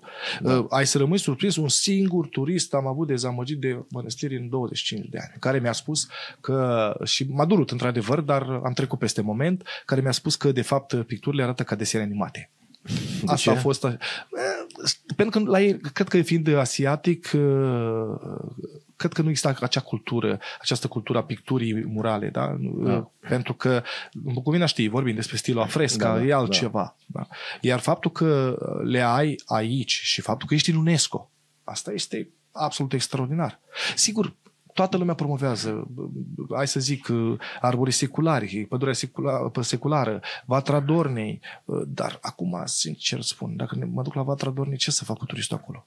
Adică eu am întrebat de foarte multe ori. Acum, da, avem acest casino al băilor, extraordinar, așteptăm o revitalizare a orașului. Venim, noi, Vatradone, am băgat-o tot timpul într-un program turistic venind dinspre Marea Mureș. Uh, mulțumim Ca la Dumnezeu în sfârșit da. că s-a făcut acel blestema de drum între Marea Mureș da, și Bucovina, da. pasul Prislop, care ne-a omorât efectiv 20 de ani. Adică mulțumim la Dumnezeu da, că avem acel drum. Sigur că da. să circulă, Sigur. să circulă bine. Bun, da, ce, ce tipuri de turiști vizitează în general, în mod obișnuit, Bucovina? Acum, uh, știți cum e, fiecare agenție este specializată pe anumite țări. Eu sunt specializat pe uh, țările vorbitoare de limbă engleză, le acopăr cam pe toate. Uh, Japonia, Israelul, astea cam sunt principalele mele, mele piețe.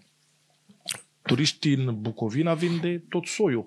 Dacă ar fi să facem un clasament, pe primul loc sunt nemții, pe locul 2 sunt austriecii, pe locul 3 sunt italieni, după aia spaniolii și după aia restul. Deci cam asta este clasamentul. Bun, și dacă ne referim strict la oameni, nu putem încadra din punct de vedere social, profesional. Nu, nu. nu. Repet, am, repet fie și eu, cât și colegii mei, am avut turiști, repet, de la nu știu, mă repet, poate grădinar Hai până la, la salubritate până exact. la... Da.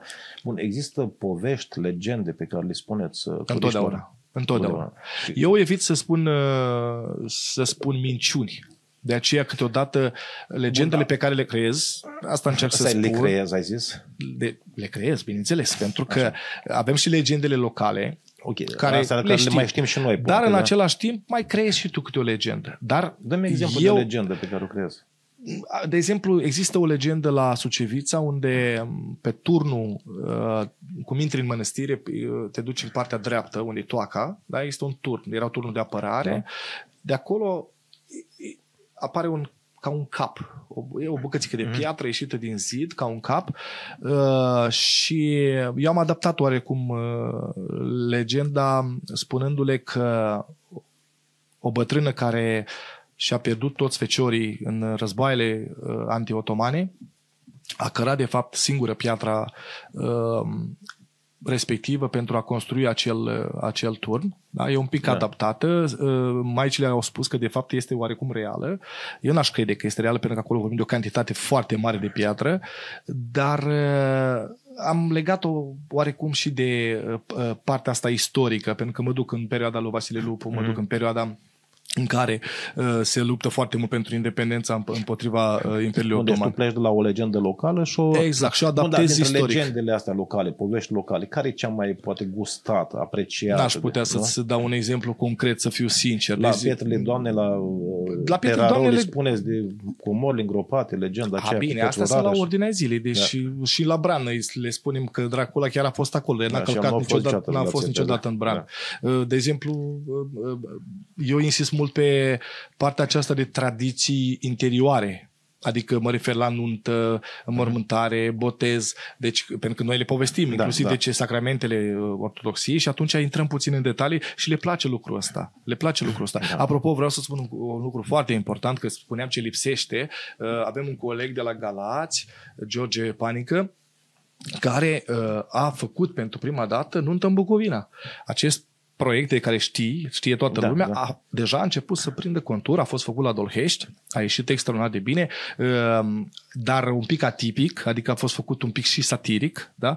foarte, foarte fain uh, programul, e un program artistic cam de o oră, o oră și un pic, uh, pentru că nunta românească se face din anii 70 la CBL puțină lume știe că Sibielu a fost printre primele sate uh, agroturistice din România în anii 70 uh, și oamenii de acolo, vreau să spun, chiar prezintă România aceea autentică. Bine, au apărut fel și fel de pensiuni și acum unele uh, prea moderne din punctul meu de vedere, dar cei care sunt de-a locului asta fac. Și atunci uh, noi am încercat să copiem un pic. Și am reușit. Partea aceasta de nuntă în Bucovina, iată că funcționează.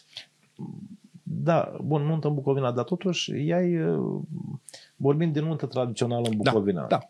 Dar dacă o luăm, scoatem acest program din câte nunți tradiționale există în Bucovina care se fac așa după... Nu Sunt prea foarte multe. Da? Nu, ca, care să se facă 100%. Uh, din punctul meu de vedere sunt. Acum, hai să fim sinceri. Zona Mănăstirea Humorului, eu, sincer, puține nunți am văzut unde mirii să nu fie îmbrăcați în costumul tradițional. Sau să nu se, să, există, există multe zone, sau cum multe, există zone în care, da, se, respectă în care se respectă tradiția, okay. sigur. Deci, uh, dacă te duci la Mănăstirea Humorului duminica, da? Deci, Așa am văzut oameni merg la biserică. Extraordinar. Dar și la da. nunți inclusiv. Deci uh, eu nu percep neapărat ca o modă lucrul acesta. Că am observat că mulți îmbracă ei tradițională așa, domnule, dă bine în poze, că da, e da, bine da. pentru Instagram, Facebook sau alte da. minuni. Dar nu, sunt sate, zona Burodina, de exemplu, uh, chiar și la Câmpul Lung am văzut acei cai superbi, deci acel, uh, acela lai de, de feciori care Da. conduc mireasa la biserică, extraordinar. Bine, nu comparăm cu Maramureșul unde o nuntă ține mult, mult. Da. Uh, Ciprian, dacă scoatem mănăstirile despre care ai vorbit din discuții, care sunt principalele atracții turistice din Bucovina pe care le preferi tu? Eu rămân iubitor de, de Suceava ca tur de oraș. Deci pentru mine, ca obiectiv, uh, din punct de vedere arhitectural, rămâne gara din Suceava. Aștept o restaurare completă și a Gărițcani, pentru că Oh. acolo este absolut superbă, Acolo dar superb, da. știm care sunt problemele acolo. Uh, Eu sunt iubitor de Ștefan cel Mare, sunt iubitor de artă medievală în general, deci m-aș duce pe locul 2, aș pune cetate, din, cetate de scaun a Sucevei. Deci, stai, stai, stai. deci locul întâi... Uh, Pentru Gara mine rămâne Burdujeni. Gara Burdujeni. Pentru mine personal. M-ai întrebat uh, ce Da, prefer da, eu. da, pe asta prefer, da, da. Dacă vorbim de turiști, este poate altceva, dar dacă mă întreb pe nu, mine, nu, de tine. eu, a, cam asta e ordinea. Da, După aceea, sigur, tot, tot în Suceava îmi place foarte mult uh, Muzeul Satului Bucovinean. Deci pentru că asta ar fi acolo, locul trei, da. ac, exact, iar, bineînțeles, uh, partea etnică. Îmi place să mă plimb pe strada armenească, îmi place să văd ca, a, câteva dintre casele rămase. Știi, Suceava a fost bombardat aproape complet. Da. Din păcate, pierdem uh, multe case valoroase. Am povestit inclusiv de casa tatălui meu, care era absolut superbă și e păcat că toată această zonă de la Baia Comunală în sus a fost dărmată. Uh, iar după aia, dacă mă duc un pic uh, către zona de mănăstiri, uh, îmi place foarte mult partea aceasta de lucru manual. Am să spun la frumosul, de exemplu, există un preot care face pictură pe sticlă, da, icon- iconografie pe sticlă, îmi place foarte mult. Pe vremuri, dar Dumnezeu să le nu mai trăiește, singurul potcovar de boi l-am descoperit în, la frumosul. Da? Potcovar de boi. Potcovar de boi. Exact. Mă gândesc că eu am copilărit la țară și aveam, uh, bunicii aveau bivoli, Da. dar nu țin minte niciodată. La frumosul era, era exista singurul să potcovar fii de boi. potcoviți. De, da? Deci asta îți spun real, deci nu e... Nu, te cred, dar- spo- Posibil în alte sate să nu, să nu existe, poate iar să- după aia, dacă mă duc, uh, mă duc încolo că- către partea de natură, case tradiționale, eu rămân fidel Brodinei, Grăniceștiului, Iaslovățului, Arbore. Sunt, am peste 15 ani de când cer, cer oficial uh, autorităților județene să marcheze casele tradiționale moldo-bucovinene. Atenție! Nu vorbim de casele austriece, nu vorbim de casele acelea cu etaj care le-au, care, a fo- acela a fost un sistem adus de austrieci, ci casele care uh, au acel cerdac frumos în față, uh, mai înăltuțe decât casele de, de, de la șes, da? uh, pe care le găsim doar în zona Bucovinei și le găsim la Iaslovăț, la Grănicești, la Arbore. E păcat să nu le marcăm ca noi să putem intra cu turiștii în curtea omului. Chiar să plătim un bilet, adică nu avem Da, o da. problemă. Da? Poate să fie muzee uh, În aer în aer liber. liber și atunci tu nu-l deranjezi pe om de la, de la treburile lui, știi că ai voie să faci acest lucru, există o, da. o, un acord cu autoritățile, deci este foarte, foarte simplu. Iar, uh, sigur, ceva care și mă impresionează întotdeauna și impresionează și turistul, sigur, este zona Milișăuți, Bădeuți, unde sunt acele uh, uh, butoaie imense de varză, varză, cu da. rețeta secretă, care de fapt nu e chiar atât de secretă, uh, dar uh, sunt lucruri dă frumoase. bine la Cam pe pot. acolo uh, m-aș duce eu ca un clasament personal. Bun, da, uh, am să sar la o întrebare care urma mai încolo, pentru că tu ai început de zone turistice sau posibilități turistice nevalorificate în Da. Suceava. Ai spus de aceste case. Da. Ce zone nevalorificate Vreau din punct de să-ți- vedere turistic ar Vreau mai să fi în spun un Suceava? lucru. Am fost uh, acum vreo câțiva ani cu, cu un grup de finlandezi la Baia.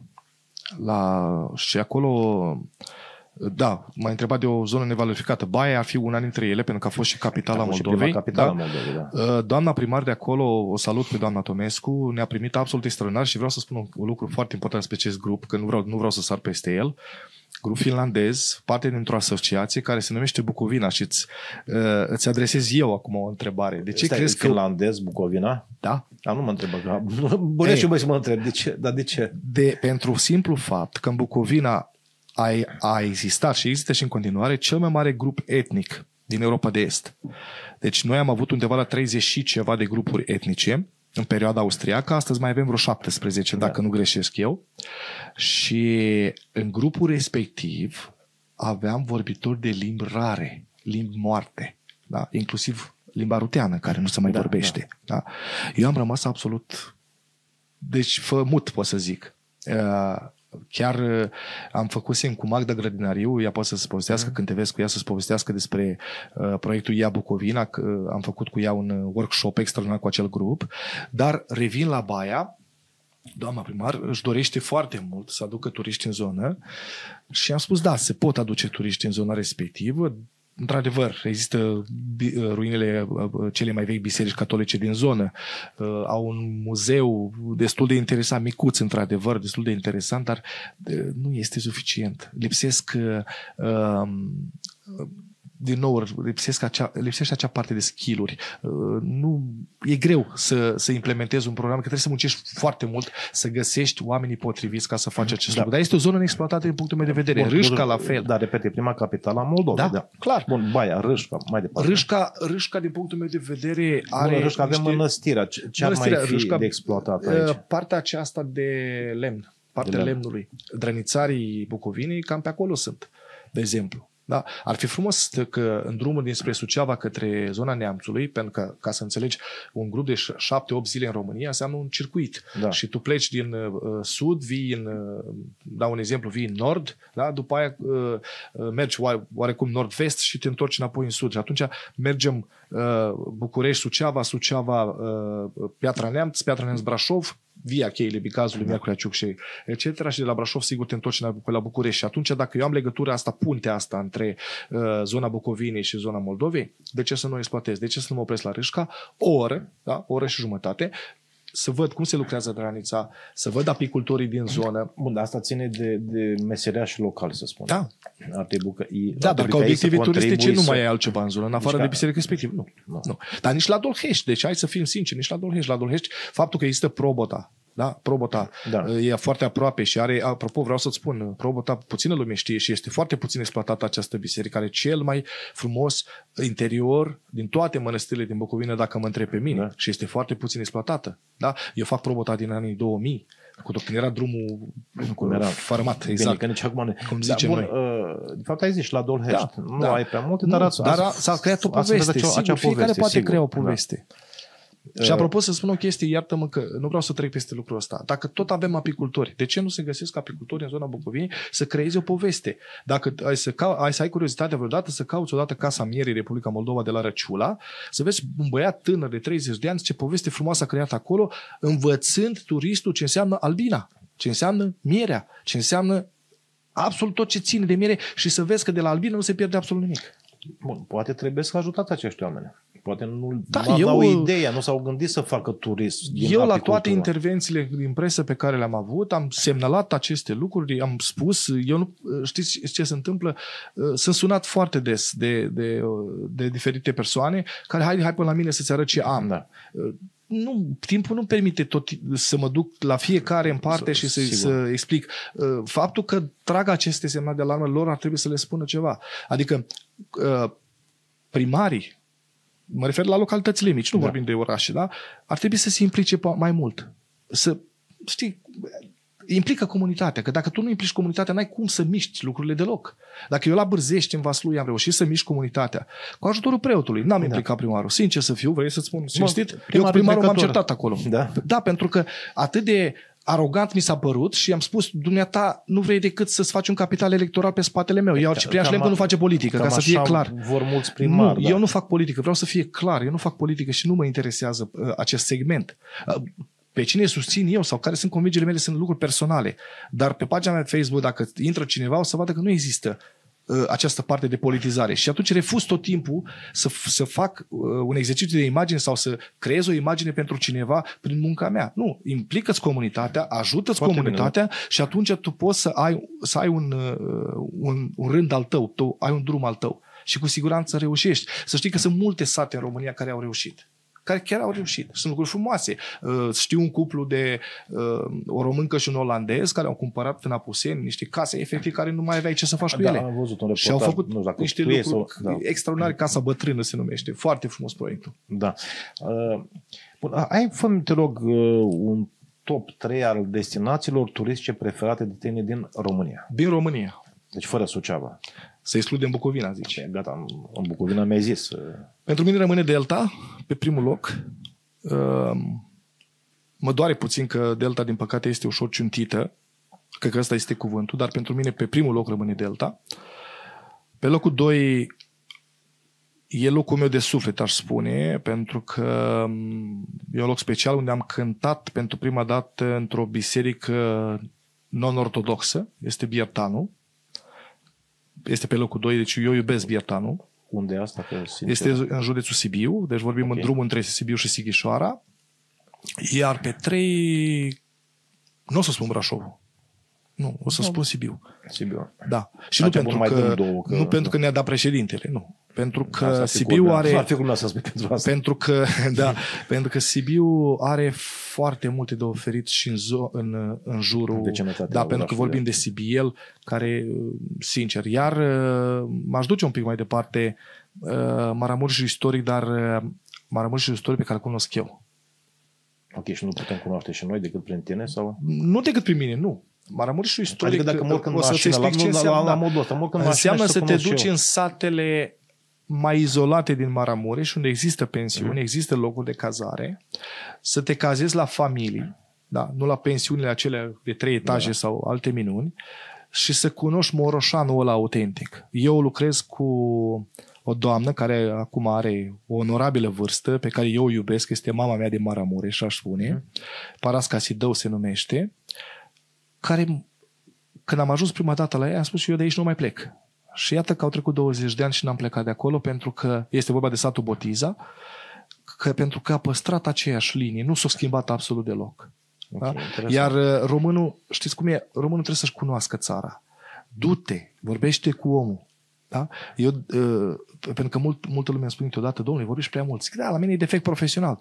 Dar la tine poate să nu fie. În ce sens? Adică tu vrei să, tu mergi ca să explorezi. De aceea turistul care vine în România pune foarte multe întrebări. Care câteodată nu nouă ni se par stupide, dar de fapt nu sunt stupide, pentru că este curiozitatea lui. Da, și da, eu când am călătorit în lume și am fost în peste 40 ceva de țări, uh, același lucru l-am făcut, am întrebat. Pentru că a întreba nu este rușine. Da. Bun, și încă una.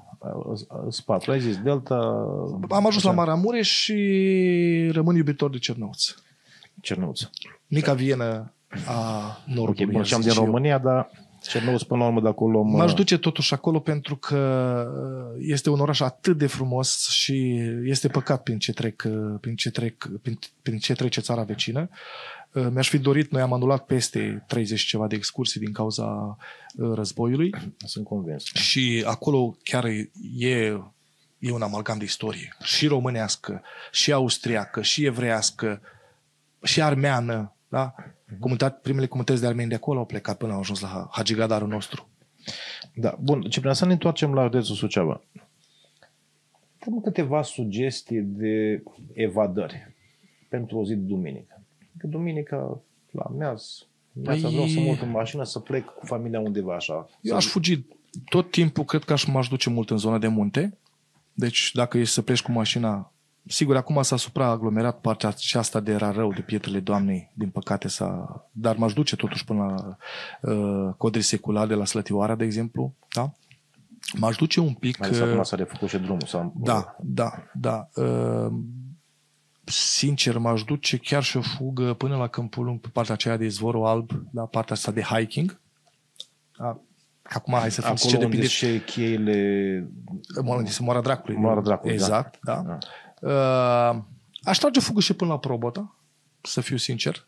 M-aș duce că e foarte aproape și Da. puțin suceveni au fost, crede-mă, când mi spuneau maicile că sunt puțini turiști care vin Dar de la, la Probă, Suceava. într-adevăr, uite, o, o, Da. o destinație care... Uh, și aș încerca, dacă vrei, chiar și un prânz mănăstiresc.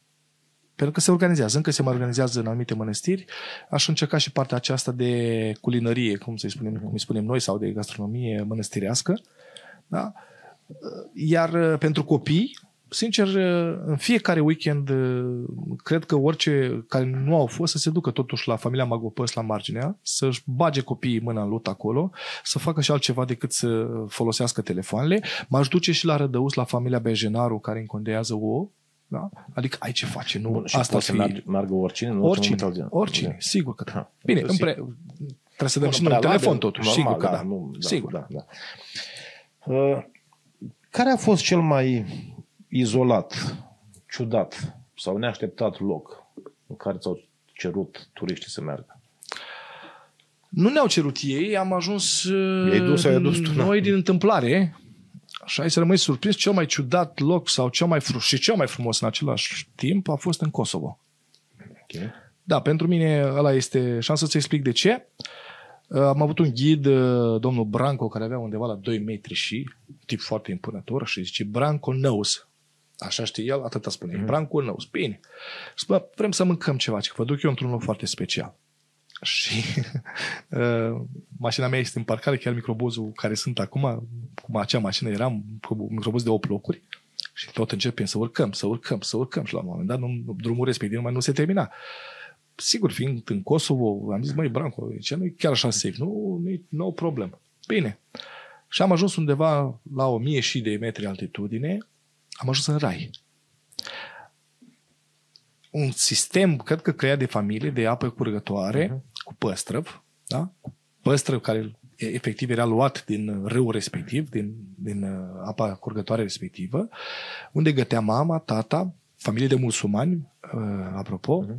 mama, tata uh, și copiii și atât. Deci experiența aceea a fost dumnezeiască din punctul meu de vedere. Pentru mine. Dacă și iar uh, experiența cea mai ciudată, când mi-a fost și frică pentru prima dată, a fost când am avut niște turiști din Brazilia care au, au aterizat pe aeroportul din Chișinău și au realizat că n-au viză de intrare în Republica Moldova. Deci ei puteau să intre în Ucraina, dar, dar nu în Moldova. Și atunci îți dai seama, trebuie să iei o decizie pe moment. Ce faci? Da. Și distrugi excursia da, da. turiștilor, cu toate că trebuie să, să spunem clar, adică n-a fost vina noastră, da. pentru că în spatele nostru tot timpul există o altă agenție, este agenția vânzătoare, noi suntem parte de tur operatori, parte executantă. Din păcate, agentul din Brazilia nu s-a informat corect și atunci uh, le mulțumesc polițiștilor de frontieră din Republica Moldova, pentru care am, am un respect deosebit, m-au primit în zona de securitate ca să pot vorbi cu, cu clienții și le-am spus, primul lucru care l-am, care l-am făcut, mi-am și acum, a fost să mă uit la tabela uh, avioanelor și am văzut că în două ore aveau zbor către Kiev. Noi aveam și Ucraina uh, inclusă. Și ce se întâmplă? Domnul Timmerman, un cardiolog foarte cunoscut la nivel mondial, uh, își dorea foarte mult să meargă pe urmele părinților, da. fiind de uh, etnic evreu. Și am spus, ok, Moldova o dăm la o parte că nu avem ce face, ne adaptăm. Da? Zic, ne întâlnim la Kiev. Dai seama, omul a realizat, am da. 9 ore de condus. A doua zi eu trebuia să, să intru pe tur. Și zic, don't worry, deci nu e nicio problemă, te duci la Kiev, e avionul, vedem noi cu agenția ce facem după aia, zic, da, hai să nu... Dar omul un tip atât de calm, zâmbăreț, extraordinar omul. Și am plecat la drum. Pe unde trebuia să mă duc? Pe Transnistria. Noaptea. N-am fost niciodată. Recunosc, am fost suficient de nebun să mă duc în, în uh, zone mai puțin exploatate și spuneam că am fost inclusiv și în Belarus și atunci am înțeles ce înseamnă de fapt uh, comunismul modern. Am plecat către, către Odessa, via, uh, via Transnistria. Grănicierii moldoveni mi-au spus nu te du pe aici, pentru că este alt drum, chiar dacă înconjori un pic. De teamă ca să nu mă rătăcesc, am spus eu prefer să mă duc pe unde uh-huh. știu Uh, am bătut recordul la trecerea de frontiere atunci, cred că în 4 minute am trecut două frontiere, deci efectiv scoteam uh, pașaportul și restul și du-te mai departe. Restul însemnând... Uh, Absolut, așa. da. Și uh, când am ajuns pe autostrada în Odessa, am realizat că n-am suficientă benzină, n-am nici bani. Deci bani aveam, sigur, aveam pe card, dar nu da. puteai plăti cu cardul mai nimic. Și aveam niște dolari la mine, m-am dus la o benzinărie și spun, uite, am dolari, dăm benzină. Hai, chem poliția, du-te cu dolari tăi. Noaptea la ora 1. Zic, domnule, nu, am vorbit în limba rusă, și zic că nu vreau să fac probleme, înțelege că nu mai am benzină. Da. Nu, și zic, dar la următoarea zapravcă, cum zic ei, la benzinărie, ă, poate te servești. Și într-adevăr, la a doua benzinărie am plătit dublu prețul, era foarte ieftină benzina în vremea respectivă, dublu am plătit pentru combustibil respectiv, am ajuns pe la 5 dimineața în Kiev, efectiv rup de oboseală, deci nu mai, nu mai știam ce cu mine, am ă, băut vreo 3 espresso ca să-mi revin, am început turul, bineînțeles că tot turul a fost schimbat și ă, termin foarte repede, am ajuns în Șarhorod, nu știu dacă ai auzit vreodată de Șarhorod, no, no. cu siguranță, nimeni n-a auzit de Șarhorod. Eu știam despre, știu, cunosc foarte bine siturile evreiești din Europa de Est și uh, nu găseam pe internet absolut nimic, un hotel absolut nimic. Da. Noi deja jucam turul acela după ureche. Uh-huh. Dar uh, clienții foarte ok, un cuplu extraordinar, am rămas foarte bun prieten, vreau să spun.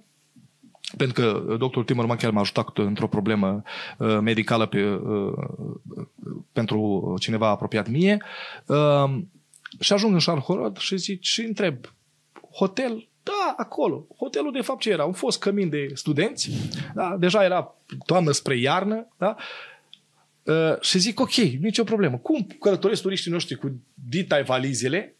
Apucă-te de caravalizele la etajul Un frig de numai numai. La care primul lucru care i-am spus la doamna respectivă, zic, câte radiatoare ai în, în hotel? Păi vreo patru. Ia da. dublu cât costă camera, dă-mi radiatoarele. Deci ca să creezi confort turistului. A doua chestie și cu asta, cu asta închid a fost faptul că nu găseam să mâncăm, pentru că peste tot erau nunți, da? Uh, și nu, nunțile ucrainieni sunt ca și la români. Da? Foarte mari, foarte... Deci nu mai aveai unde să te așezi să mănânci ceva și atunci la care zice uh, domnul Timmerman, care era un fin cunoscător de vinuri un uh-huh. fin cunoscător de vinuri, zice, we make Brazilian dinner, facem uh, cină braziliană. Și ne-am dus într-un supermarket care l-a mai găsit deschis, a luat brânză de aia, brânză de aia, salam de ăla, salam nu știu ce, și a, a fost absolut fabulos. Bine, de acolo, după ce am trecut de experiența asta care a fost extraordinară pentru ei, am reușit să identific casa unde au trăit uh, străbunicii lui, i-am scos certificatul de naștere a bunicului lui, în mm-hmm. original de la primăria din uh, Șarhorod, și scopul meu a fost atins. Deci a fost o experiență absolut minunată. Da. După cum îți spuneam, pot să vorbesc ore întregi despre povești ale ghizilor. Sunt convins și toate sunt savuroase. Dar tu ești un ghid foarte apreciat la nivel uh, național și nu numai. Uh, ca reprezentant a, a agenției Hello Bucovina ai apărut în foarte multe ghiduri de turism, ghiduri internaționale utilizate de agenții importante. Uh-huh Uh, și din, ace- și din aceste motive ai fost invitat ca lector să susții conferințe, seminarii la diverse locuri din țară sau străinătate. Care a fost cea mai interesantă experiență pe care ai avut-o ca lector la astfel de întâlniri? Cea mai interesantă experiență pentru mine rămâne o prezentare care am făcut-o la Universitatea de Stat din Moldova, în care am reușit uh, să aduc în rândul nostru al ghizilor uh, o mână de, de studenți implicându-i în mod direct în prezentare, uh, pentru că prima lor întrebare a fost, dar noile Moldova avea ghizi? Și am spus, da, aveți ghizi, colegi foarte, foarte buni chiar. Uh-huh. Și atunci uh, prezentarea mea n-a plecat cu, cu așa, hai să povestim și doar să fie o chestie citită sau... Nu, a fost cu o implicare directă a studentului în sensul că ia vină tu încoace, ia zim și ce la nordul Moldovei. Păi Briceniu, și ce găsești în Briceniu? Păi aia, hai să coborăm mai jos, mergem la Soroca și tot așa. Deci da. i-am implicat în acest joc încât ei, ei singuri au creat un program turistic în aproximativ două ore. Deci pentru mine asta rămâne o experiență în sensul că am reușit să conving uh, uh, câțiva dintre studenți care au devenit mai târziu au devenit ghizi atestați. Uh, am făcut acest lucru și la Universitatea uh, Ștefan cea Mare din Suceava, Uh, scopul meu nu a fost atins, din păcate Bucovina are foarte puțin ghizi de turism. Da? Uh, universitatea ar trebui să încurajeze mai mult această meserie, ar trebui să existe mai multă practică, cel puțin pe partea uh, universității de profil, da? de turism și administrație, cred că se numește astăzi. Uh, iar catedra de filologie să pună mult mai, mai mult accent pe uh, partea de limbi străine. Bun, la momentul de față, uh, eu dacă vreau să fiu ghid, trebuie să urmez acel curs, da. nu? Care tot După 9 luni. Da, legislația acum este în aer, să știi, dar cam asta ar fi. Deci trebuie să faci cursul de 9 luni, uh, îți primești diploma, dar, repet, ghidăria nu se învață din cărți. Bun, am înțeles și devin ghid cu acte în regulă. Exact. În rest, că dacă mă caut exact. cineva, dacă nu mă caut, în exact. funcție de recomandări și exact. mai Dar atenție, ghidul de turist, ca să fie, să fie înțeles, nu este agent de turist. Ghidul de turist nu, nu prestează decât servicii de ghid. Agenția de turist vinde pachetele turistice. Se confundă foarte mult acest lucru. Uh, eu lupt de în 2015 pentru reglementarea legislației, 2015 a fost primul, uh, de fapt al doilea, pentru că inițiator a fost un coleg al meu, uh, după modelul Turciei, uh, mai târziu Polonia, Macedonia și alte țări, de înființarea poliției turistice, pentru că ne, ne luptăm. Ne luptăm. turistice ce înseamnă? Poliția turistică înseamnă protejarea tuturor actorilor din turism, eradicarea evaziunii fiscale la Am nivel național pe tot ce înseamnă partea nivel, de servicii turistice. Okay. Asta înseamnă și împiedicarea cel mai important, împiedicarea ghizilor străini care au drept nelimitat de a ghida în, în România, adică dacă tu, englez, francez sau ce nație vrei, vrei să ghidezi România, o poți face, ceea ce nu este corect. Am înțeles, bun, astea de ale voastre acolo. Da, da, sigur, nu. Am, am vrut să, să, să fie așa în, în discuția noastră, pentru că sunt convins că foarte mulți colegi de-ai mei se vor uita la acest podcast uh, și eu am fost, un, uh, am fost și sunt un alăpărător al, al meseriei pe care o am, pentru că vreau să spun un lucru. Uh, ghidul este ambasador al țării pe care o reprezintă. Trebuie să, să lăsăm un pic la o parte povestea asta, ești lucrător în turism. Nu, ghidul de turism preia uh, turistul de la scara avionului și îl duce până la scara avionului. Uh, ghidul român, dacă este să comparăm cu Uniunea Europeană, lucrează de două ori cât lucrează un ghid uh, din alte țări de ce? UE. Pentru că suntem implicați, pentru că ne protejăm turiștii, pentru că ne place să lucrăm. Uh, gândește că un program al no- programul nostru într-o excursie începe la 6 dimineața, se termină la 12 noapte.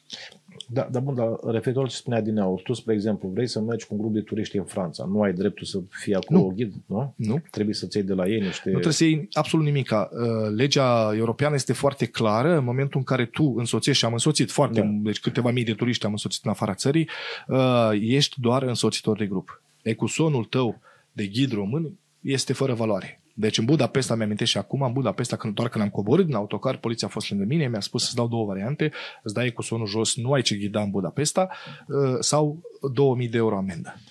Ok, nu ai ce ghida tu ca soțitor de grup și n-ai voie să le vorbești, să le spui? Nu, în afara autocarului nu. În autocar poți să faci ce vrei. A, serios? N-ai voie? Sigur. Da. Deci dacă, deci dacă te plimbi Dar pe mie mi, stradă, se cum ai pare, pus să- mie mi se pare că este care ține de bun simț. Adică de ce să nu ne Bun, protejăm joburile, nu? Vorbind prin prisma a ceea ce spui, bun, de protejarea Da. joburilor, de faptul că uh, ești un ambasador al țării respective, Exact. da? Da. Da, mi se pare într-adevăr de bun simț. Dar uite, nu știam chestia asta pentru că știu și turiști, ghizi care vin, spre Da. exemplu, vara din Israel cu turiști Așa israelieni este. Și vin în România. Și asta pentru că, doar pentru că sunt foarte mulți dintre ei care vorbesc limba română, mai sunt care au dublă cetățenie, care eu n-am niciun fel de problemă, vreau să spun că există ghid de limbă coreană. El este corean, Da. dar nu a ghidat până nu și-a luat cetățenia și până nu și-a luat at- atestatul de ghid, pe ca, pentru care eu am tot respectul.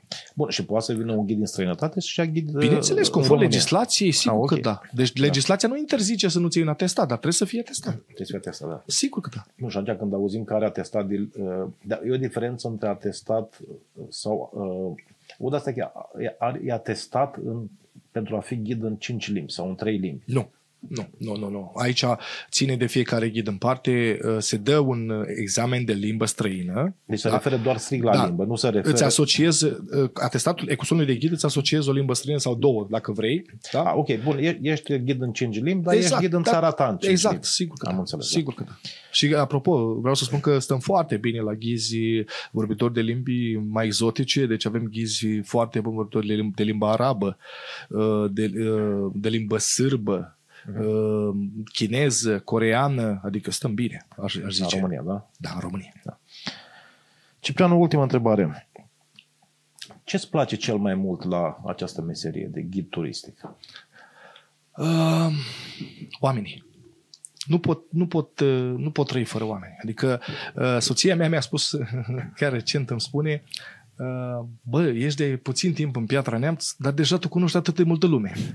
Zic, da, de mic copil mi-a plăcut să fiu între oameni, mi-a plăcut să vorbesc cu oamenii. Sunt un tip curios, sunt extrem de curios. Înainte de podcast noi vorbeam despre mașini de scris. Da, da, da. Deci eu sunt curios, îmi place să aflu, îmi place să descoper.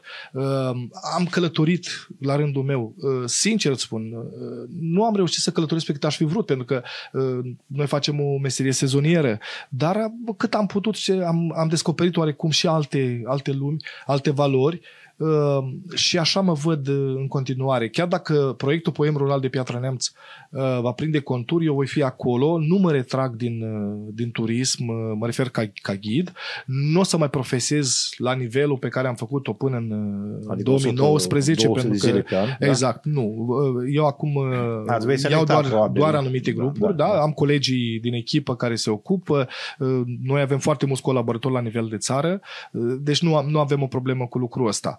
Dar mă ia dorul. Recunosc că mă ia dorul să mă duc, să povestesc în pandemie, dacă vrei să mă crezi, mi-am dus toți prietenii la mănăstiri numai ca să mă duc ca să, ai să, să povestesc, exact, pentru că... A, da, te vorbește fața cuiva, singur, nu, sigur, n-am sigur, da. Nu am făcut, uh, să știi, nu am făcut în pandemie, nu am făcut acele uh, tururi virtuale. Uh, mi s-au părut așa ce se făceau tururi virtuale da, pe calculator? Da, da, a fost, au fost ghizi la nivel european, chiar și din România, care au făcut tururi virtuale, că se plăteau în 5 euro, 7 euro și înțeleg. Da, Acum tu trebuie să înțelegi un lucru. Seci, așa. Noi, da, sunt mai seci, dar a fost o variantă și am susținut pe colegii mei, pentru că acum eu sunt norocos, sincer spun. Pentru că eu pe lângă uh, partea aceasta de agenție de turism, eu mai am și alt business care m-a ajutat să supraviețuiesc, uh, dar sunt colegi care doar asta fac și atunci noi trebuie să înțelegem, trebuie să-i ajutăm. Am avut uh, colegă de uh, limbă japoneză pe care i-am recomandat-o multor părinți care aveau copii acasă, uite, poate să învețe să japoneză. Și era 60 de lei o oră, 70 de lei, adică era nimic toată. Dar, da. dar faptul că eu am reușit și am putut să ajut un coleg, da? adică am trecut mai ușor peste acea perioadă neagră care a fost un dezastru pentru turismul mondial. Da. Ciprian, îți mulțumesc foarte mult. Cu mare drag. Îți doresc mult succes în continuare în activitatea ta de ghid, în uh, activitatea ta de întreprinzător local la acel poem rural. Și mulțumesc tare mult de invitație. Uh, a fost o discuție foarte interesantă și mă bucur că a fost pentru prima dată și, și repet, este în premieră unde am vorbit mult mai mult despre mine decât am făcut-o vreodată. Păi, asta intenționam, adică să te cunoască lumea și ca om. Cum ai ajuns Mulțumesc. aici, pentru că una, ghidul e ghid. Meseriaș, mai mult, mai puțin profesionist, mai mult, dar să vedem și ce în spatele acelei persoane care ne vorbește zi de zi despre... Exact. Și dacă îmi permis să termin cu o glumă, uh, o să iau, acum am voie să iau o gură de apă. Da, chiar mă uitam că n-ai băut. De ce n-ai băut apă? De obicei toți invitații mai beau câte o gură Pentru de apă. Pentru că ghidul își dozează uh, cantitatea de apă când vorbește pentru că altfel A, apar, exact, apar alte uh, lucruri care nu ți le dorești în timpul excursiei. Ok. Și ghidul merge la baie ultimul, apropo. A, merge la baie ultimul. Exact. Bun, și nu se usucă gura la, la ta vorbit? Nu, eu am, am un antrenament obișnuit, da, am obișnuit. Dar după, să știi că beau apă suficient în, pe parcursul unei zile. Bun, dar după ce scap de vorbit, înainte de a merge la baie după grup, Absolut. atunci, da. Exact. Da. Ciprian, încă o dată mulțumesc și încă o dată Cu mare drag, mulțumesc de invitație. Vă mulțumesc pentru atenție și vă invit săptămâna viitoare la o nouă ediție a podcastului Interviurile Monitorul.